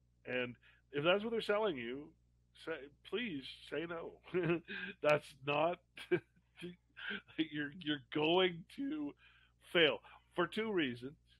One, what we're discussing, but two, because you don't you're going into this blind. You don't know anything about trust. You don't know. You got to admit that to yourself. I had to admit it, and I'm still I'm still trying to catch up. You know, I'm still when I'm not debunking all these a holes. I'm, I'm I get a little chance to do some research. You know. Yeah. So um, that's the thing. You know, they always give you templates, right? Just like Clint said. So you fill it out, do the crime. I don't know how many times I got to say it. There, there should be there shouldn't be a template for anything when it comes to these matters. Again, everything should be tailored to your individual situation by somebody that knows what they're doing and has successfully proven that yes, my trusts work. um, which none of these guys can, of course. Um, and another thing is too. I mean, um, you know, you gotta you gotta understand you know, this th- these guys like clint said they haven't reinvented anything they're just repeating the tax protester templates and essentially what is that going to do again like i was just saying the story from my client they didn't have an estate plan even though that's what a trust is supposed to be for so you're not even not only do you have a sham trust but you're not even knowing how to use a trust and another thing too is with this KL guy, you're blinded to the all the things that he tells you to do after you sign up, right? Then you find out. Well, I think you should be fully transparent and know what you're going to get into before you sign up. That's why I'm so adamant, especially now, as of late, of displaying, hey, this is what I this is what I give you guys, this is what I offer, this is what it looks like. Here's a diagram of all the different moving parts. There is no surprises. So that's a red flag. If you're in the dark of the process and you don't see how everything's going to fit together, um, I'm sorry that you, that's a red flag. You're in a cult or in a scam or both. Now, another quote from KL quote, the Fed devalues the dollar. It's not real money anymore after 1933, end quote. I mean, how many times, Clint, do we have to debunk the whole 1933 thing? Well, money isn't real, period. I mean, it said uh, there is no money doesn't grow on trees. Money is no money is obviously a creation of whoever creates it, right? So, it, to say it's not real or to say that just because it's uh, de facto or because it's uh, what fiat or it's not backed by gold, which is untrue. There's so many, so many things you're going to hear. Um, money is just. I'll put it to you this way: if you really want to understand the wealthy, there's a point where your wealth is so vast that money doesn't even have meaning anymore, right? Money's just a medium of exchange, and you don't even think about you know, it's not like it's not like it's not like us where you have to worry, oh, do I have enough money in the bank to cover this? no, yeah, I have a trillion dollars, and that'll cover a, a new Porsche, right? It, it's they pay in cash, they do it privately. It, money is used to control you. Money is not what they value. What they do with money, what government does with money, is to invest. That's why when you look at the audits of government, they own all corporations. They own real estate funds. They own real estate. They own currencies from all over the world. They're hedged in everything. They they don't want the money. If they just wanted money, then the money would be sitting there. But it's not. It's sitting in what? Investment funds. There is no money just sitting around in government. It's all invested, right? You you shouldn't. I mean, technically, you should follow that example, right? If you're going to play in the money system, you really shouldn't have money sitting around. You should invest it. Now, okay, what, again, you debate that all day long. The, the point, though, is it, it's it's a system of control and nothing else.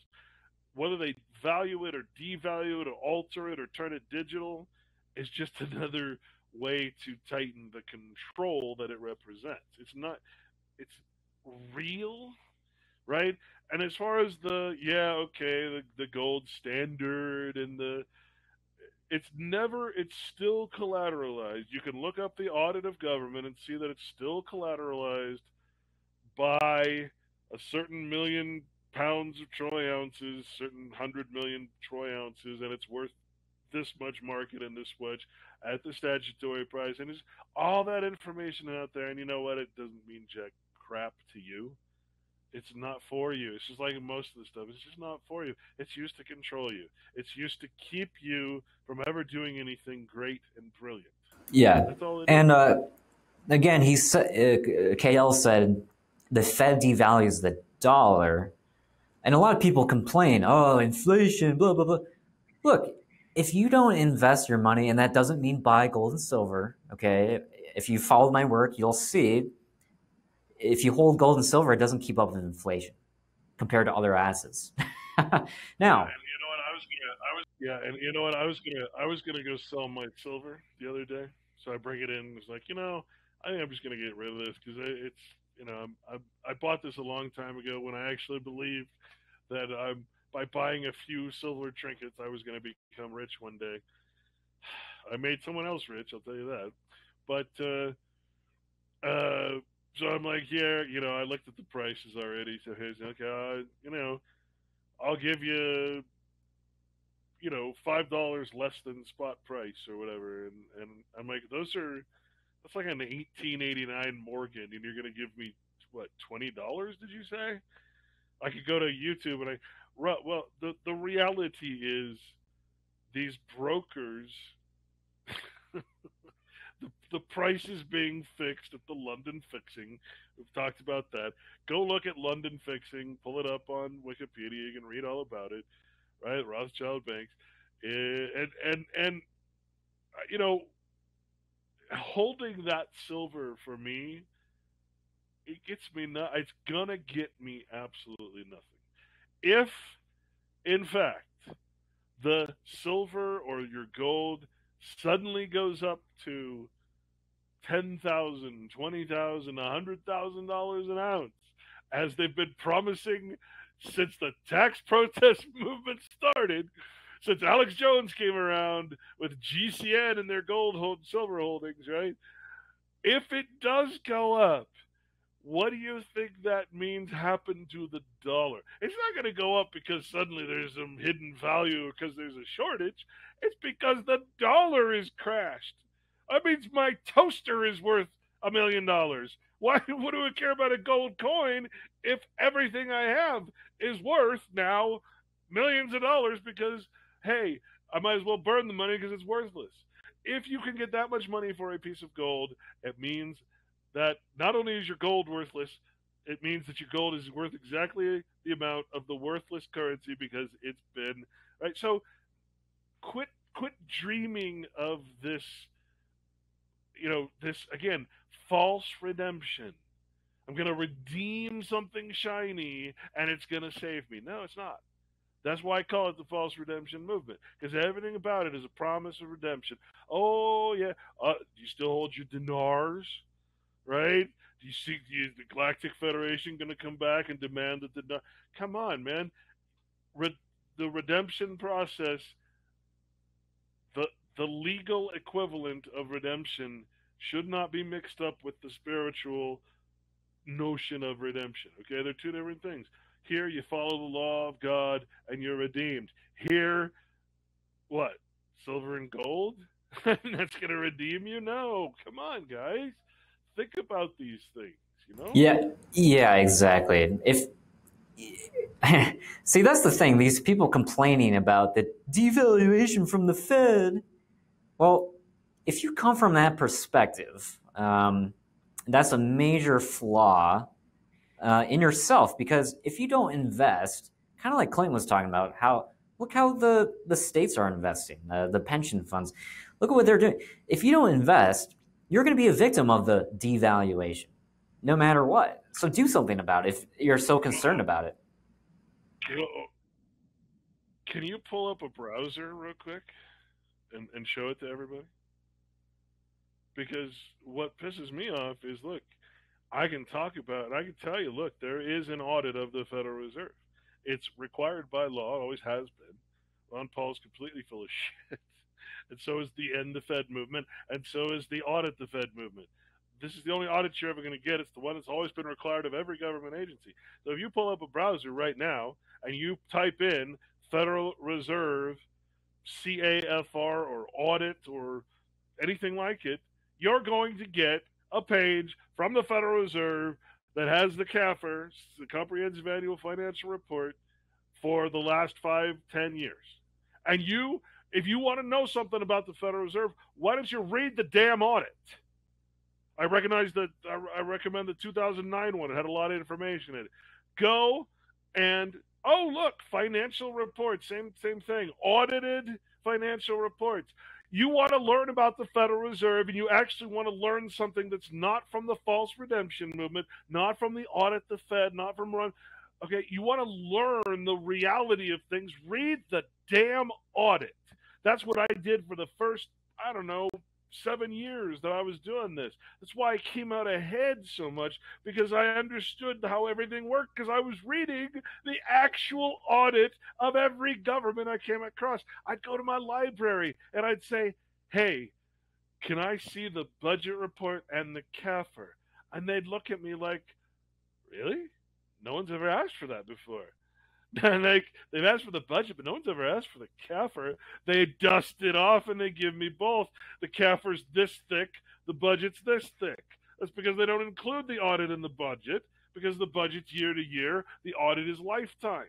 All their investments, everything else, everything you want, everything that they tell you that the Federal Reserve is private about or doesn't tell you about is in the audit.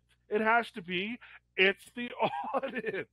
Like, I don't know what to tell you. When James Corbett made his foolish documentary about the about the Fed, I wrote a whole argue, uh, article about it, saying here's the CAFR, here's everything you said is not available to the public right here. Here's the public audit. It's right here. So if you want to know about the Federal Reserve and what it does, download it. Type in Federal Reserve Audit or CAFR, and it's going to come up right there, and you can learn the truth. You can also, for God's sake, go read the Federal Reserve Act. It's going to disprove most of the fallacies that you hear in the truth movement. It's, it's going to show you the very foundation of the lies, and you can go to the fact section of the Federal Reserve where it says uh, no, we're not private. no, we don't do that. No, we don't do anything. Alex Jones says no. no, here's the audit. Here's the law that says we're required. I don't know. I, I, I, you know, years, years. I tried to teach people how to read these things. You know, the accounting language. I, I, I eventually just gave up. I said, you know what?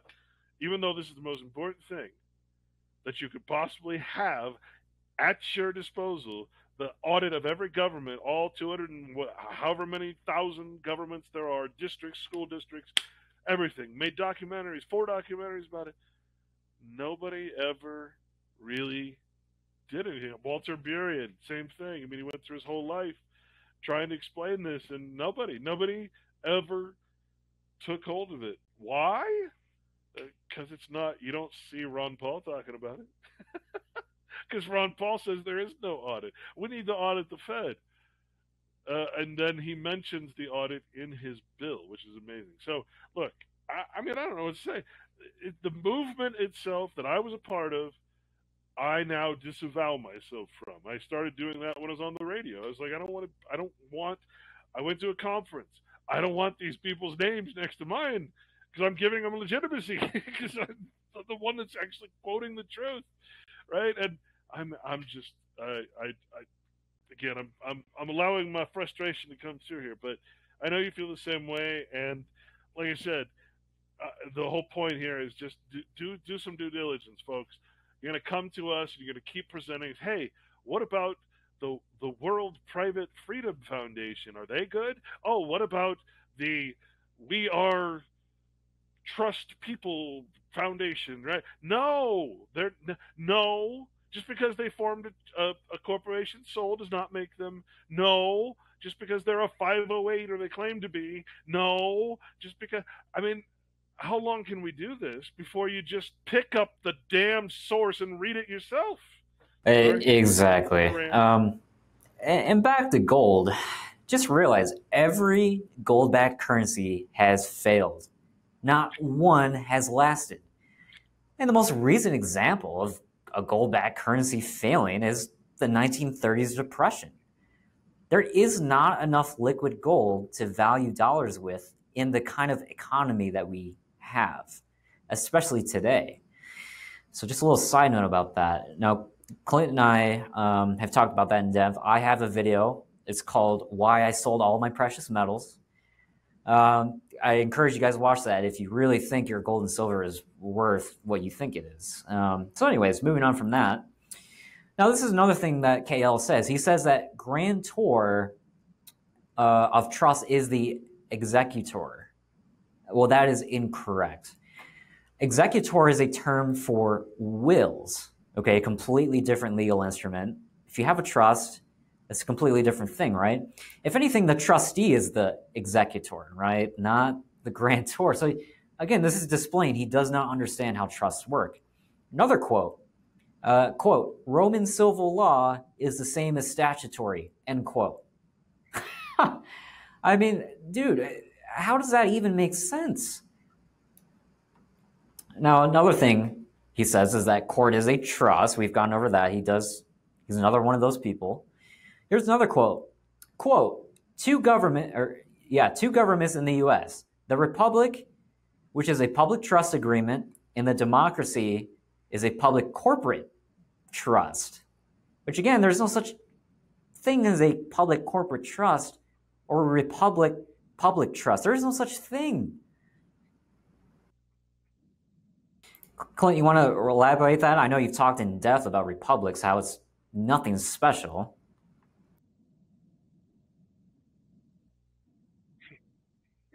Well, every country in the world is essentially a republic, from China to Russia to Bangladesh to, like I said, it was, it, in my opinion, just from my recent research, and there's a video I'm trying to get done, um, which really, I'm kind of calling it the ultimate history of the world because it's like since the Treaty of Westphalia, how everything was taken over by first convincing people they could be self-governing in a republic, and then immediately there's a constitution.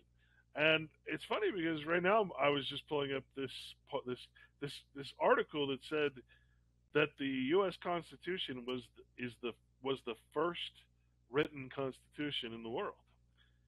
And I'm like, that's certainly not true. What about the Code of Hammurabi? What about going back to you know the, the last the thousands of years?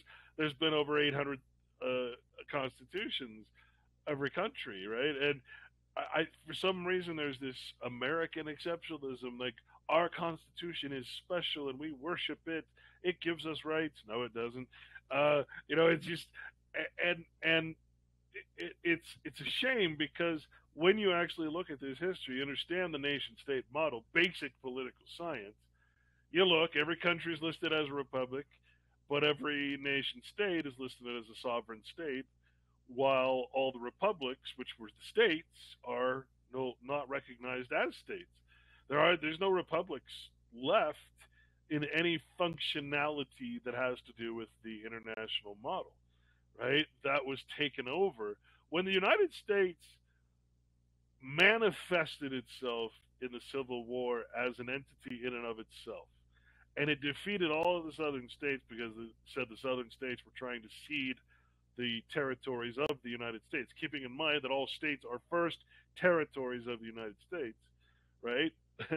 when they form a state or a republic, uh, you know, the Republic of Texas. Well, last thing government said about Texas is if you get out of line again, we're just going to come down here and beat beat the crap out of you again. I mean, it's horrible to read what the last words to some of these out, outlying, you know, southern southern states were basically, you know, we're the United States. We are now your master. You are our subject. You are not sovereign. We we've take your lands. We, you know, all your public lands are ceded to us, except in Texas. Uh, it's amazing to read the reality of it. And so every country in the world is basically a republic, commonwealth, whether it's a dictatorship, a monarch, you know, a constitutional republic.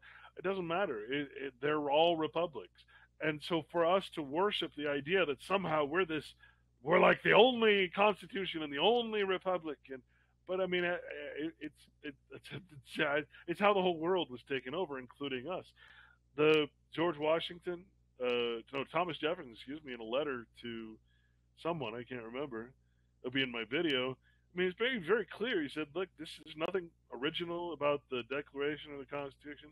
Nothing, nothing at all about the Declaration of Independence that was special or was not the the ongoing thought of the time, and that had to do with the revolutions and the you know you had France, you had France, you had the French Revolution, all these revolutions going on, but that was the royal families establishing and nation building these new nation states.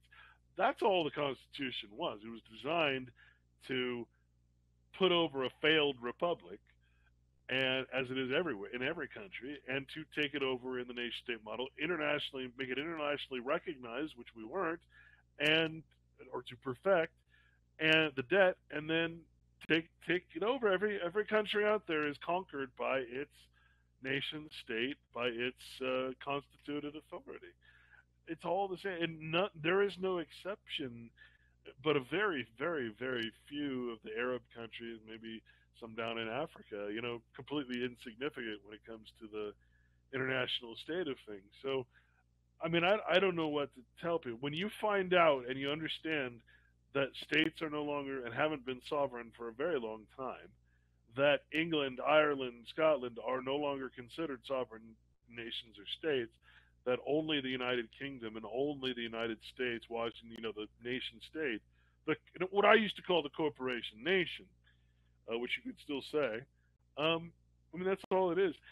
It's very different than what we're taught. And I'll tell you what, you want to really get a trip, go to Encyclopedia Britannica and type in nation state. Man, it's like it's like reading the blueprint of how we were destroyed. Like, how do you destroy a nation? Well, through the nation state.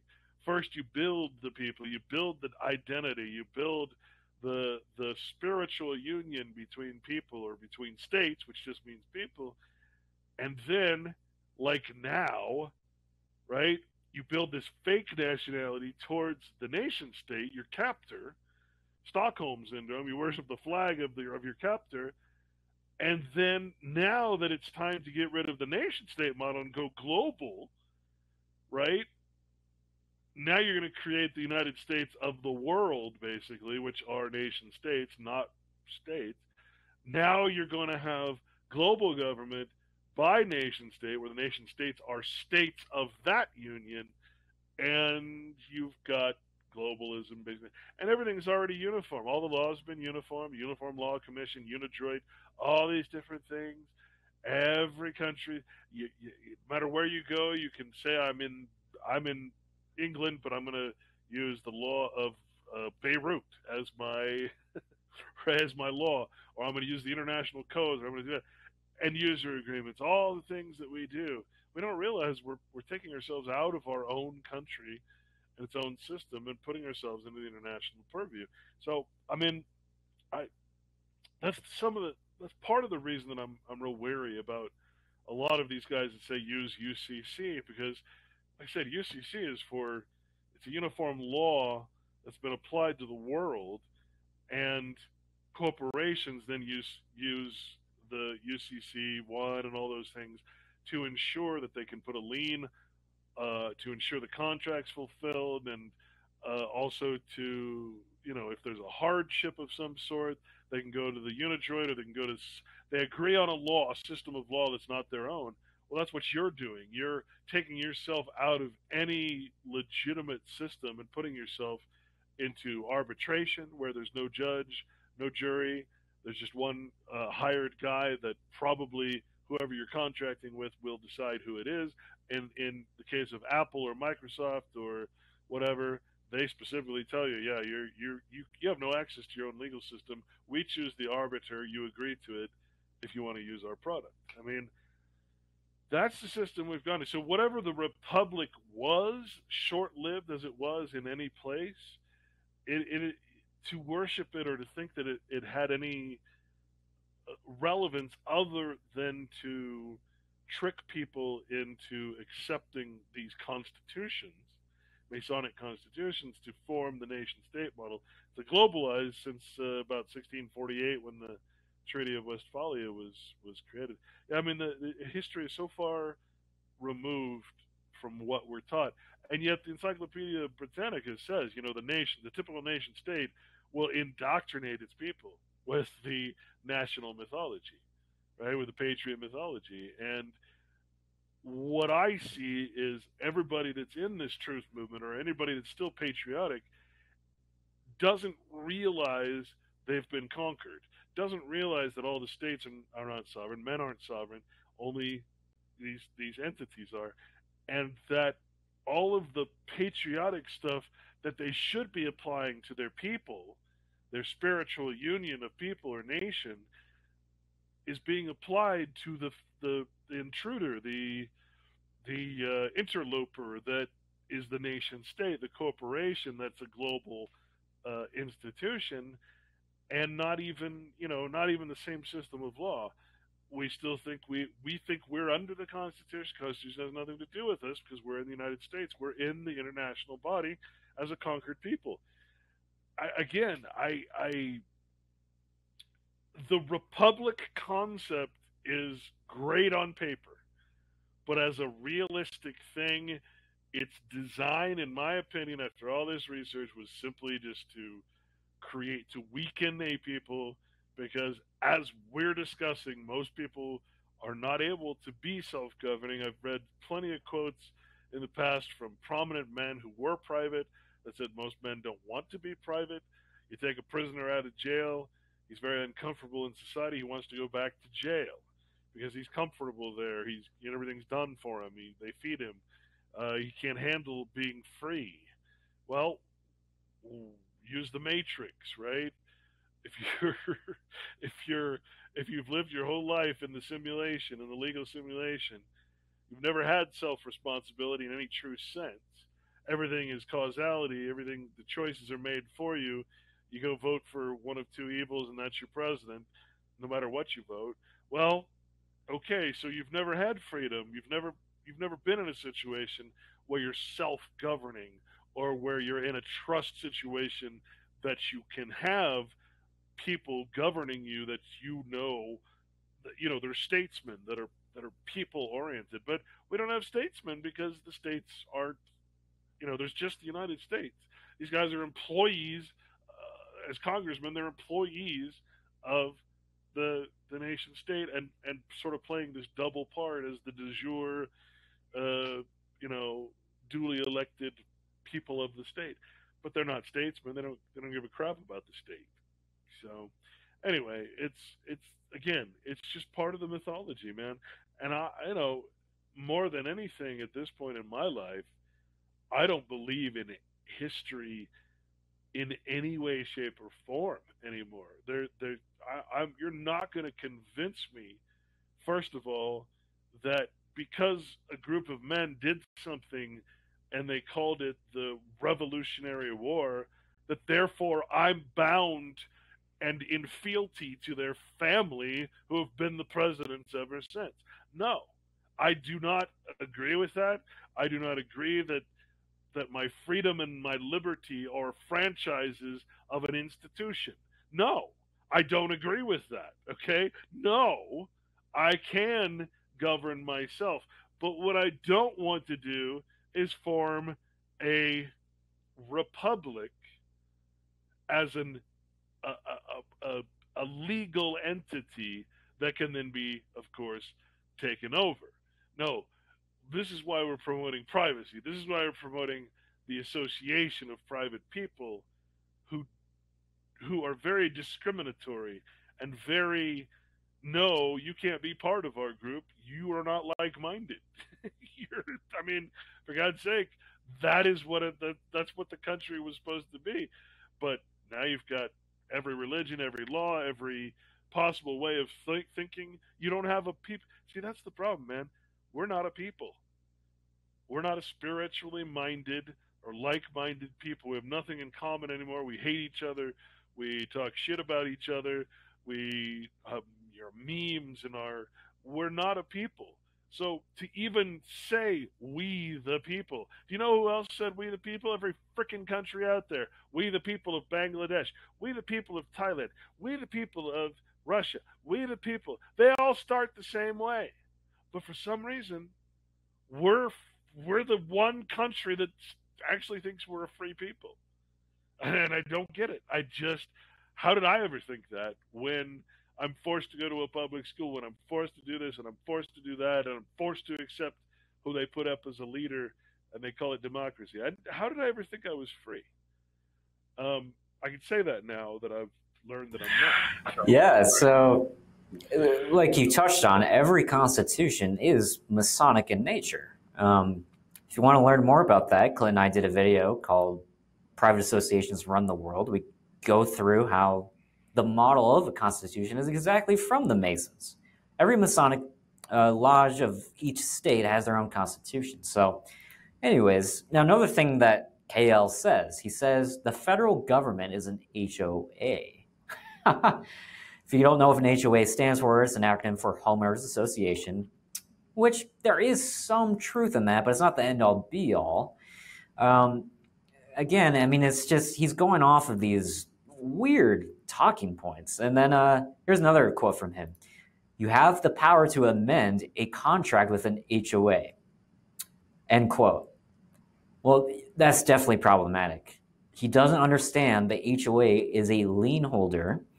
And when you move into that address, it is a voluntary agreement that you enter into. You cannot set your own terms to think that the HOA is going to care or that it's legally binding that you try to amend the contract with the HOA. Again, a trust, a lot of people say a trust is a contract. It's not. A trust is not a contract, contrary to many gurus saying that it is. Beneficiaries do not agree or sign off on being a beneficiary in a trust, right? So KL, he says that trust law as if it's its own area of law, and that's also incorrect.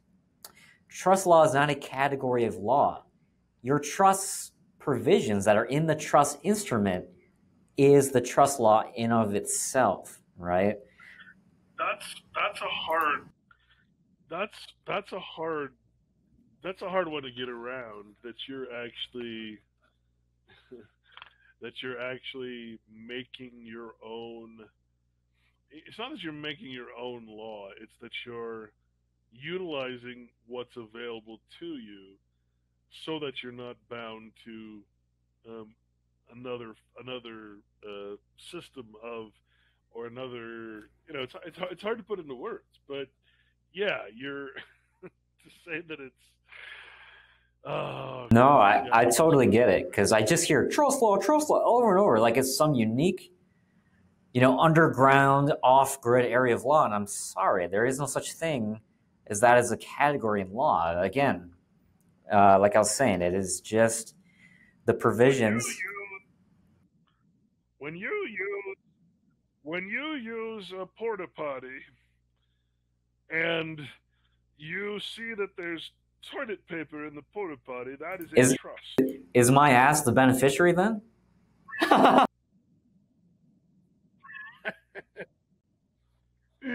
well, that's that's really what these people are saying, though. Like in a nutshell. All right, so so moving on, we got we got a lot more to work through. So again, KL says uh, the republic is a public trust agreement, and then the democracy is a public corporate trust. Well, Here's the thing there is no such thing as a public trust. Trusts are not public record, nor are they registered or filed anywhere. So how you could say that, you could say that, you could say that colloquially. You could you could say it without the actual meaning of of a trust, right? I mean, yeah, I could see where you could say that, but it, it, as far as a legal terminology, that is an incorrect statement. Yeah, exactly. So here's the thing. Uh, how can KL be so sure of all these public trusts if he can't produce actual trust documents? And the answer is he can't. now, another thing he says, quote, creator of trust controls, end quote. There is some truth in it, and that's how these gurus get you. They sprinkle in some half truths. Here's the thing only in the drafting of the trust law itself does the creator control the trust. After that, though, in most cases, the grantor gives up control. That is the whole point of an irrevocable trust. That's what the quote means own nothing, control everything, right? If the grantor is still controlled, uh, which is basically playing the role of trustee, using trustee powers, in most cases, in most states, that's going to be considered a sham irrevocable trust. Only in a revocable living trust can the grantor be trustee as well, hence giving control. But again, that can be a downside if you're trying to use a revocable trust for asset protection. Because then the creditor is just going to say, well, okay, well the or the trustee is the grantor, so he's still controlling it. He it's it's still his property technically. So again, I mean, there there's so many caveats when it comes to this, and unfortunately, these idiots they don't they speak out of their ass. So okay, so now here are some notes that I took exactly from KL's notes that was on Rice TV's episode.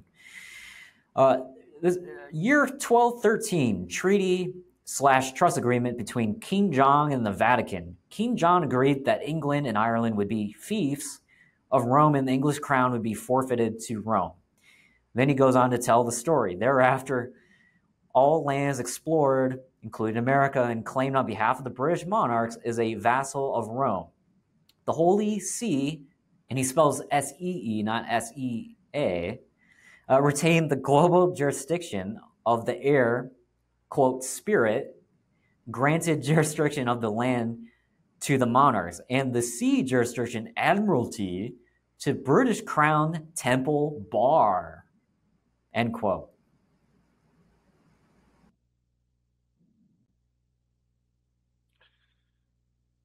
The, the,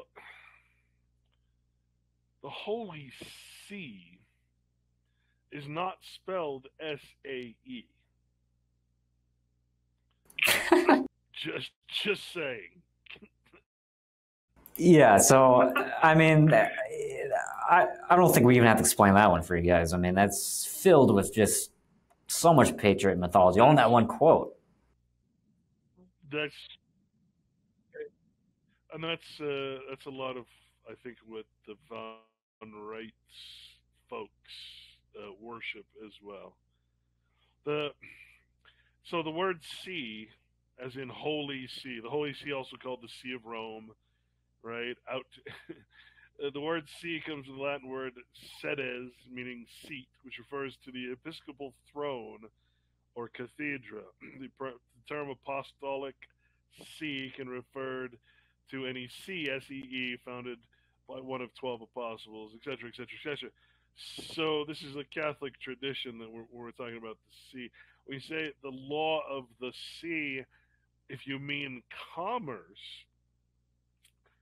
I mean, you you you shouldn't mix the the the the holy see and the law of the sea. Those are two different concepts. Yeah, another thing uh, from that show's notes that KL wrote, quote, 1666 Cestui Que Vie Act set up Roman estate trusts in England to allow management of property belonging to unknown survivors of the Black Death and the Fire of London deaths. The citizens were presumed dead and their estates were administered by the Vatican, just as in 64 AD when Rome burned and their citizens were presumed dead. It's the same game today, you just don't understand the rules. End quote. First of all, this guy's use of grammar in parentheses is absolutely awful.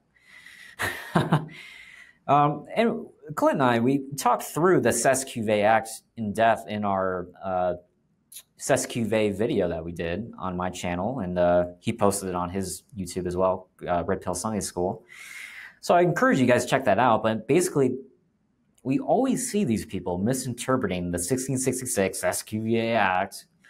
They act like it's still like part of the world today and affecting you and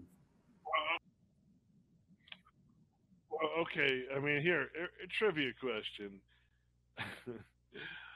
What i mean don't we call the i mean isn't the beneficiary of a trust technically called the sesquive i mean isn't it uh, it's a it's a position of being dead to whatever assets you're going to claim. yeah, it's something like that. I remember reading something like that. But yeah, it's completely yeah. different than what these people are saying that it is. Yeah. So, so yeah, the Cestui Que Vie Act and being a Cestui Que Vie while in a trust or some other uh, agreement or arrangement or whatever, uh, not the same thing. You know, these are these they, they, they also call it a dead dead pledge, a mortgage, you know, a, something that you don't actually have control of what your what your um, you don't have actual control of the state. You're you're a user. You're not an owner, or you're not a you know. It, it's I don't know. It, it, the confusion there is strictly the same as I'd say is is the is Federal Express actually a federal corporation? You know, it, it's obviously no, and just because it's called the Cestui Que Vie does not mean that every instance of of Cestui Que Vie comes from that particular act. If I call an act the uh, a live act, doesn't mean that everybody alive or anytime I, I use the word alive comes from the 1666 alive act. You see, you get my drift. I mean, it's just a it's it's another patriot mythology that when you boil it down means hardly anything. I mean, it's it's part of history, great. It should be understood for what it is, but to mistake it as as being somehow still, you know, that we're still vassals of Rome. It just does not. Yeah, another thing he says, quote, the Constitution is a mortgage trust, a security with sureties created by a consti- con- constitutor. I'm probably saying that wrong, end quote. I mean, how ridiculous is that? A, consti- a constitution is the foundational set of principles or laws that will that will set up a government. It's nothing else. Okay, it's, it's just nothing else. It's not a trust. It's not a. It is a document, not unlike a charter or anything else that says exactly what the government is going to be. I, I, I, I that's all it is, and that's why I say there's been hundreds and hundreds of them over the over the centuries, and again, to think that ours is anything special or, I mean, just to give you an example of why it's bad, you got the you got the Declaration of Independence and the Constitution, two documents that are almost 100% opposed to each other, right? I don't know why people don't realize that.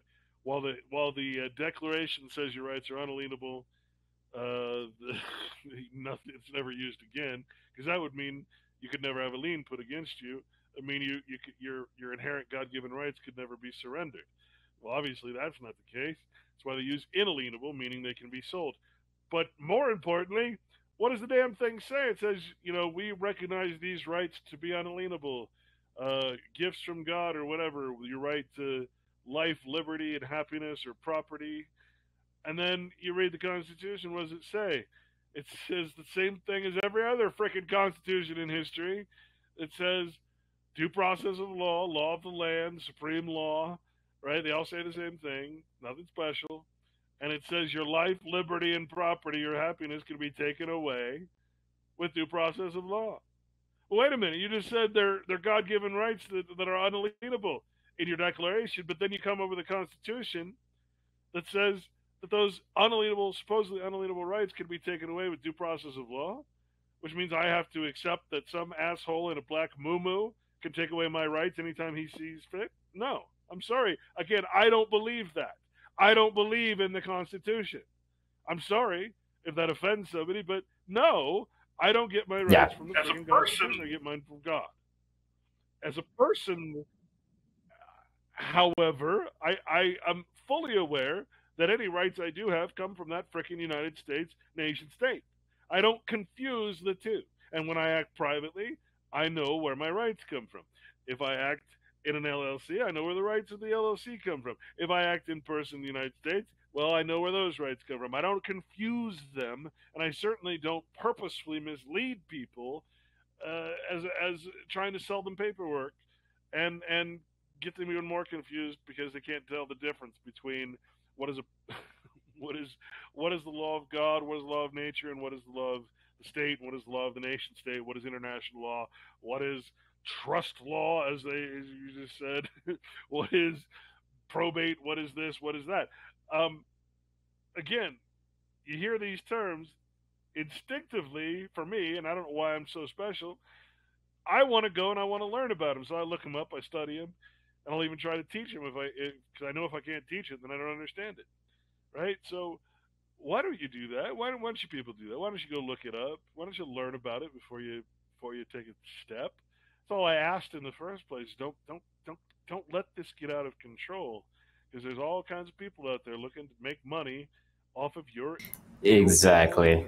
By the way, I'm uh, when I have time to work on it, I'm going to release a free trust class for people so you can learn the very basics. Um, as of right now, you can go on my YouTube channel. You can, I got a few different videos going through the basics, but I'll, I'll have it all in one course for you guys available here in the next couple months sometime when I have some free time to make that. So, anyways, to continue, um, quote, this is from KL again, quote, Bank of England bought the debt and then sold it to the French for, or re, uh, I had a typo in here, something involving the French from the 6 million francs we borrowed and agreed to restructure the debt. Chapter 11 bankruptcy, which, by the way, that didn't even exist back then. We also did a show. and, Um, and we we also did a show um, where we looked it up and again countries don't declare bankruptcy. So when you hear uh, the history that you'll hear from the von Reitz people and all that where you had the united states has had three bankruptcies and it's probably they'll say it's 70 years apart because 70 years is what's required for there to be a you know, required new new assessment or new new bankruptcy has to be required. And all based on one statement that uh, that uh, the disgraced congressman made in, in, in as a colloquialism he said uh, we are standing here today in the the largest bankruptcy of the United States he was he was being colloquial he was being you know metaphoric, um, but people actually take that as literal. Even though when you look and you just do a simple search, you're going to find out no. right. How, how can you go bankrupt to yourself? That doesn't make any sense. Well, and and there again, does a trust? And I honestly don't know the answer to this, but I'll ask. Maybe you know, maybe you don't. No. Of a trust going bankrupt? Okay, well, he says the country's a trust. I'm just saying. I mean, this- I just, I'm just saying. I mean, this is like, I, it's. Yeah. Oh, Oh, exactly. it drives me nuts. It can continue. I got a few more and then we'll wrap this up. Quote, air jurisdiction. By the way, guys, I have a hard time saying that word jurisdiction. I heard, saw some trolling comments months ago on Clint's channel, like, oh, you can't even say jurisdiction right. I'm sorry, I'm Asian. I can't say some words properly, okay? I try.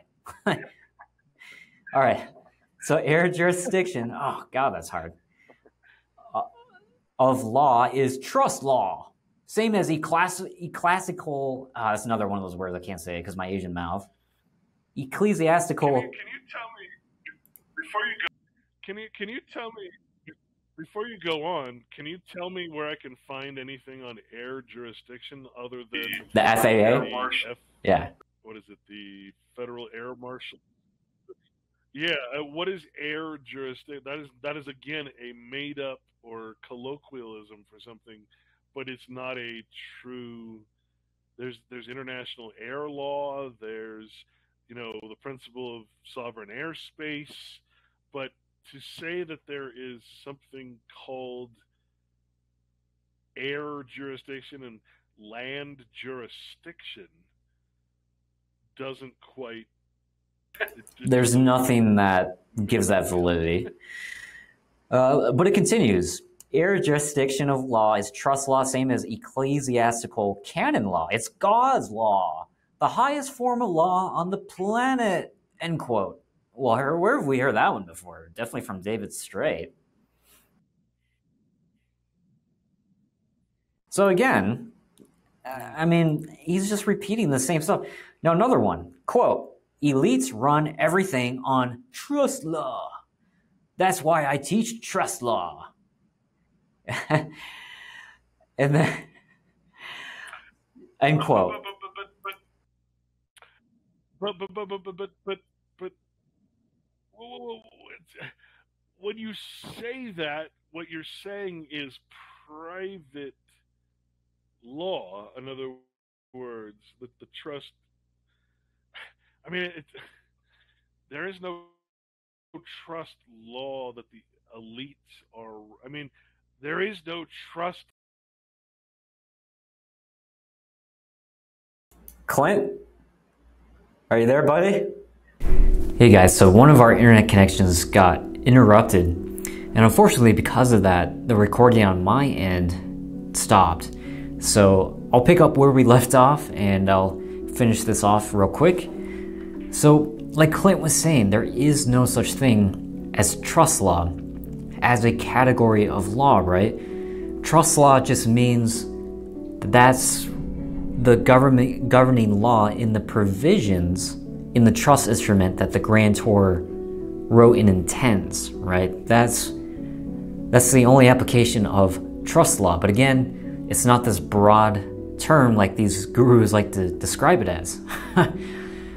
so let's go back to the quote KL says, quote, elites run everything on trust law. That's why I teach trust law. End quote. Where is the so-called facts or proof of anything KL says? Let's go back to the quote. Elites run everything on trust law. Again, I don't even have to explain that. You guys already know by now. Elites don't use trust for everything they do. They use trust, sure, they definitely use trust, but it's remember, trusts are for estate planning purposes only. It's not this magical remedy for every little thing in life. It just it doesn't make sense. All right, so here's the next quote. Quote, the United States is an unincorporated company, just like hiring a HOA now to perform lawn care services, end quote. so notice that first part. Unincorporated company? Yeah, that totally makes sense. unincorporated and company are two different things. And he's describing an HOA as an unincorporated company. That's very incorrect. That's a category error. Uh, HOA, Homeowners Association, is a private association. That's the legal structure of a homeowners association. so to say that's unincorporated company, that just doesn't add up. And this clearly demonstrates not only does he not know how trusts work, he doesn't understand how private associations work. So this is pretty bad. Now, just because I have a company doesn't mean it's a corporation, right? Like just like a limited liability company, that's not a corporation, but it is, has domicile in a state, right? So therefore, is incorporated in XYZ state. But remember, incorporated doesn't mean it's a corporation. I like to use Clint's metaphor where if I'm making brownies and I incorporate butter to as part of what is one of the ingredients to make the brownies, then that's not the same thing as some people think. Oh, oh, that's a corporation. So just to clear that confusion up too. So technically, yes, companies are incorporated. Okay, in a state, and it has domicile in a state, right? so there is no such thing as an unincorporated company. All right, so the next quote. Quote, I use trust law just like they, the elites, do, which means they're not susceptible to those other jurisdictions, end quote. Again, here's him tr- using the term trust law incorrectly, just like all these other gurus. So he's not really unique in that way. All these other people do the same thing. Let's go back to the fact that all states have adopted the Uniform Trust Code. All states have statutes for trusts meaning all trusts are statutory. Just like a company, a trust has to have domicile in a state to make it a valid legal trust instrument, right? Otherwise, it's not going to hold up as a valid trust, especially in court or the bank for that matter. So, because of that reason, the states have statutes on trusts. There is no such thing as a common law trust or a non statutory trust, okay? And KL, he, he doesn't use the term common law to describe his private business trust, which again, that doesn't exist. but he tries to describe it as a non statutory trust because of the reason why I just went over. There is no such thing as common law trust, non statutory trust, constitutional trust, or pure trust. Those are all scams. But just because states have statutes on trust, that's not a bad thing. You got to use the muscle of that and make sure that your trust has the right provisions so that that way your trust instrument can be valid by any third party seeing it and it'll hold up and distribution can happen successfully, can be administered successfully, right? Now, the next quote KL says, quote, the first trust was a republic. The second trust is a democracy, end quote. so, this is pretty bad. Uh, like Clint said, there's nothing special about a republic. Every country in the world is virtually a republic. You know, you got the Republic of Russia, you got the Republic of China. So you're not going to find a remedy in the fact that there is a republic. Second of all, whether we're talking about a republic or a democracy, a nation state cannot be a trust. Trust is only for estate planning purposes. so, this is a category error on KL describing the nation state as a trust. It's definitely not. It's a corporation, but it's not a trust. All right, so next one quote 1929 stock market crash, parentheses, 1860 plus 70 years equals 1930, end parentheses. Another set of parentheses, HOA debt now 4.4 billion, end parentheses. Next set of parentheses. this guy loves his parentheses. HOA bankrupt again. The international bankers agreed to restructure the debt again in 1790. They got legal title to all federal land and buildings. In 1865, they got legal title to all state owned land and buildings. Now they get the 48 governors to agree to pledge. End quote. so here we are again with the 70 year bankruptcy thing that these alternative law gurus had made up. Literally, there is no evidence. You know, he likes to say the international bankers agreed to restructure the debt in 17, 1790. Well, where's the evidence of this secret meeting in 1790 where they decided to restructure the debt? And the fact is, there is no evidence. Second of all, like we've gone over before, nation states don't go bankrupt. They can't. They never have. What? They don't go bankrupt, they go insolvent, which is two major differences. Okay? How can you go bankrupt yourself as a nation state? And like Clint was saying, yes, one time a city official said, We're dealing with a bankruptcy. I think it was a governor, maybe. We're dealing with a bankruptcy here, but he was speaking uh, he actually misspoke. He was speaking colloquially. Countries can default on debt, but they don't go bankrupt, right? Now, another thing about him saying legal title to all federal land and buildings in 1865 look, the nation state does not need legal title to land. They, they're far beyond that. This is more macro than just titles, okay?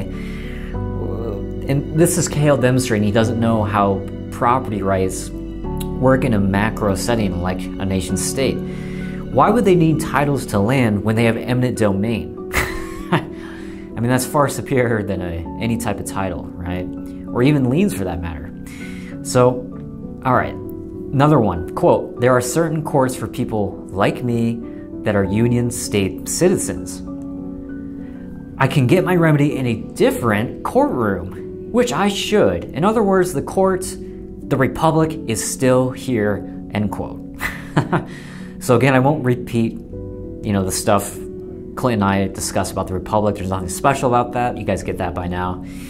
But where where is this evidence that KL is saying that he goes to some special court, right? I mean, where is this special court located? Who who is adjudicating it? Who who's running this? The, the answer is there is no such thing as a different courtroom for people like him, as he says. And again, there is no such thing as a Union State citizen. it's completely bogus. Go look in USC and see what defines a United States, goes what defines a citizen, but there is no such thing as a state citizen. Everything is federal. That's probably the worst quote out of them all that uh, KL has said. And I would love to see his evidence of this special court. I would love to see the special court documents of where this is and you know how these cases have gone and the history of any cases like this. where it goes to some special courtroom as part of the Republic. All courtrooms are part of the Republic, so there's nothing special about that. So you can find Clint's work on his new website, privateunderground.club. That's where he has all of his work now posted, all of his documentaries, his videos, his books. He's got an audiobook now on the Straw Man. Clint is so censored he has to go private, so this is his new website. We will see you guys next time.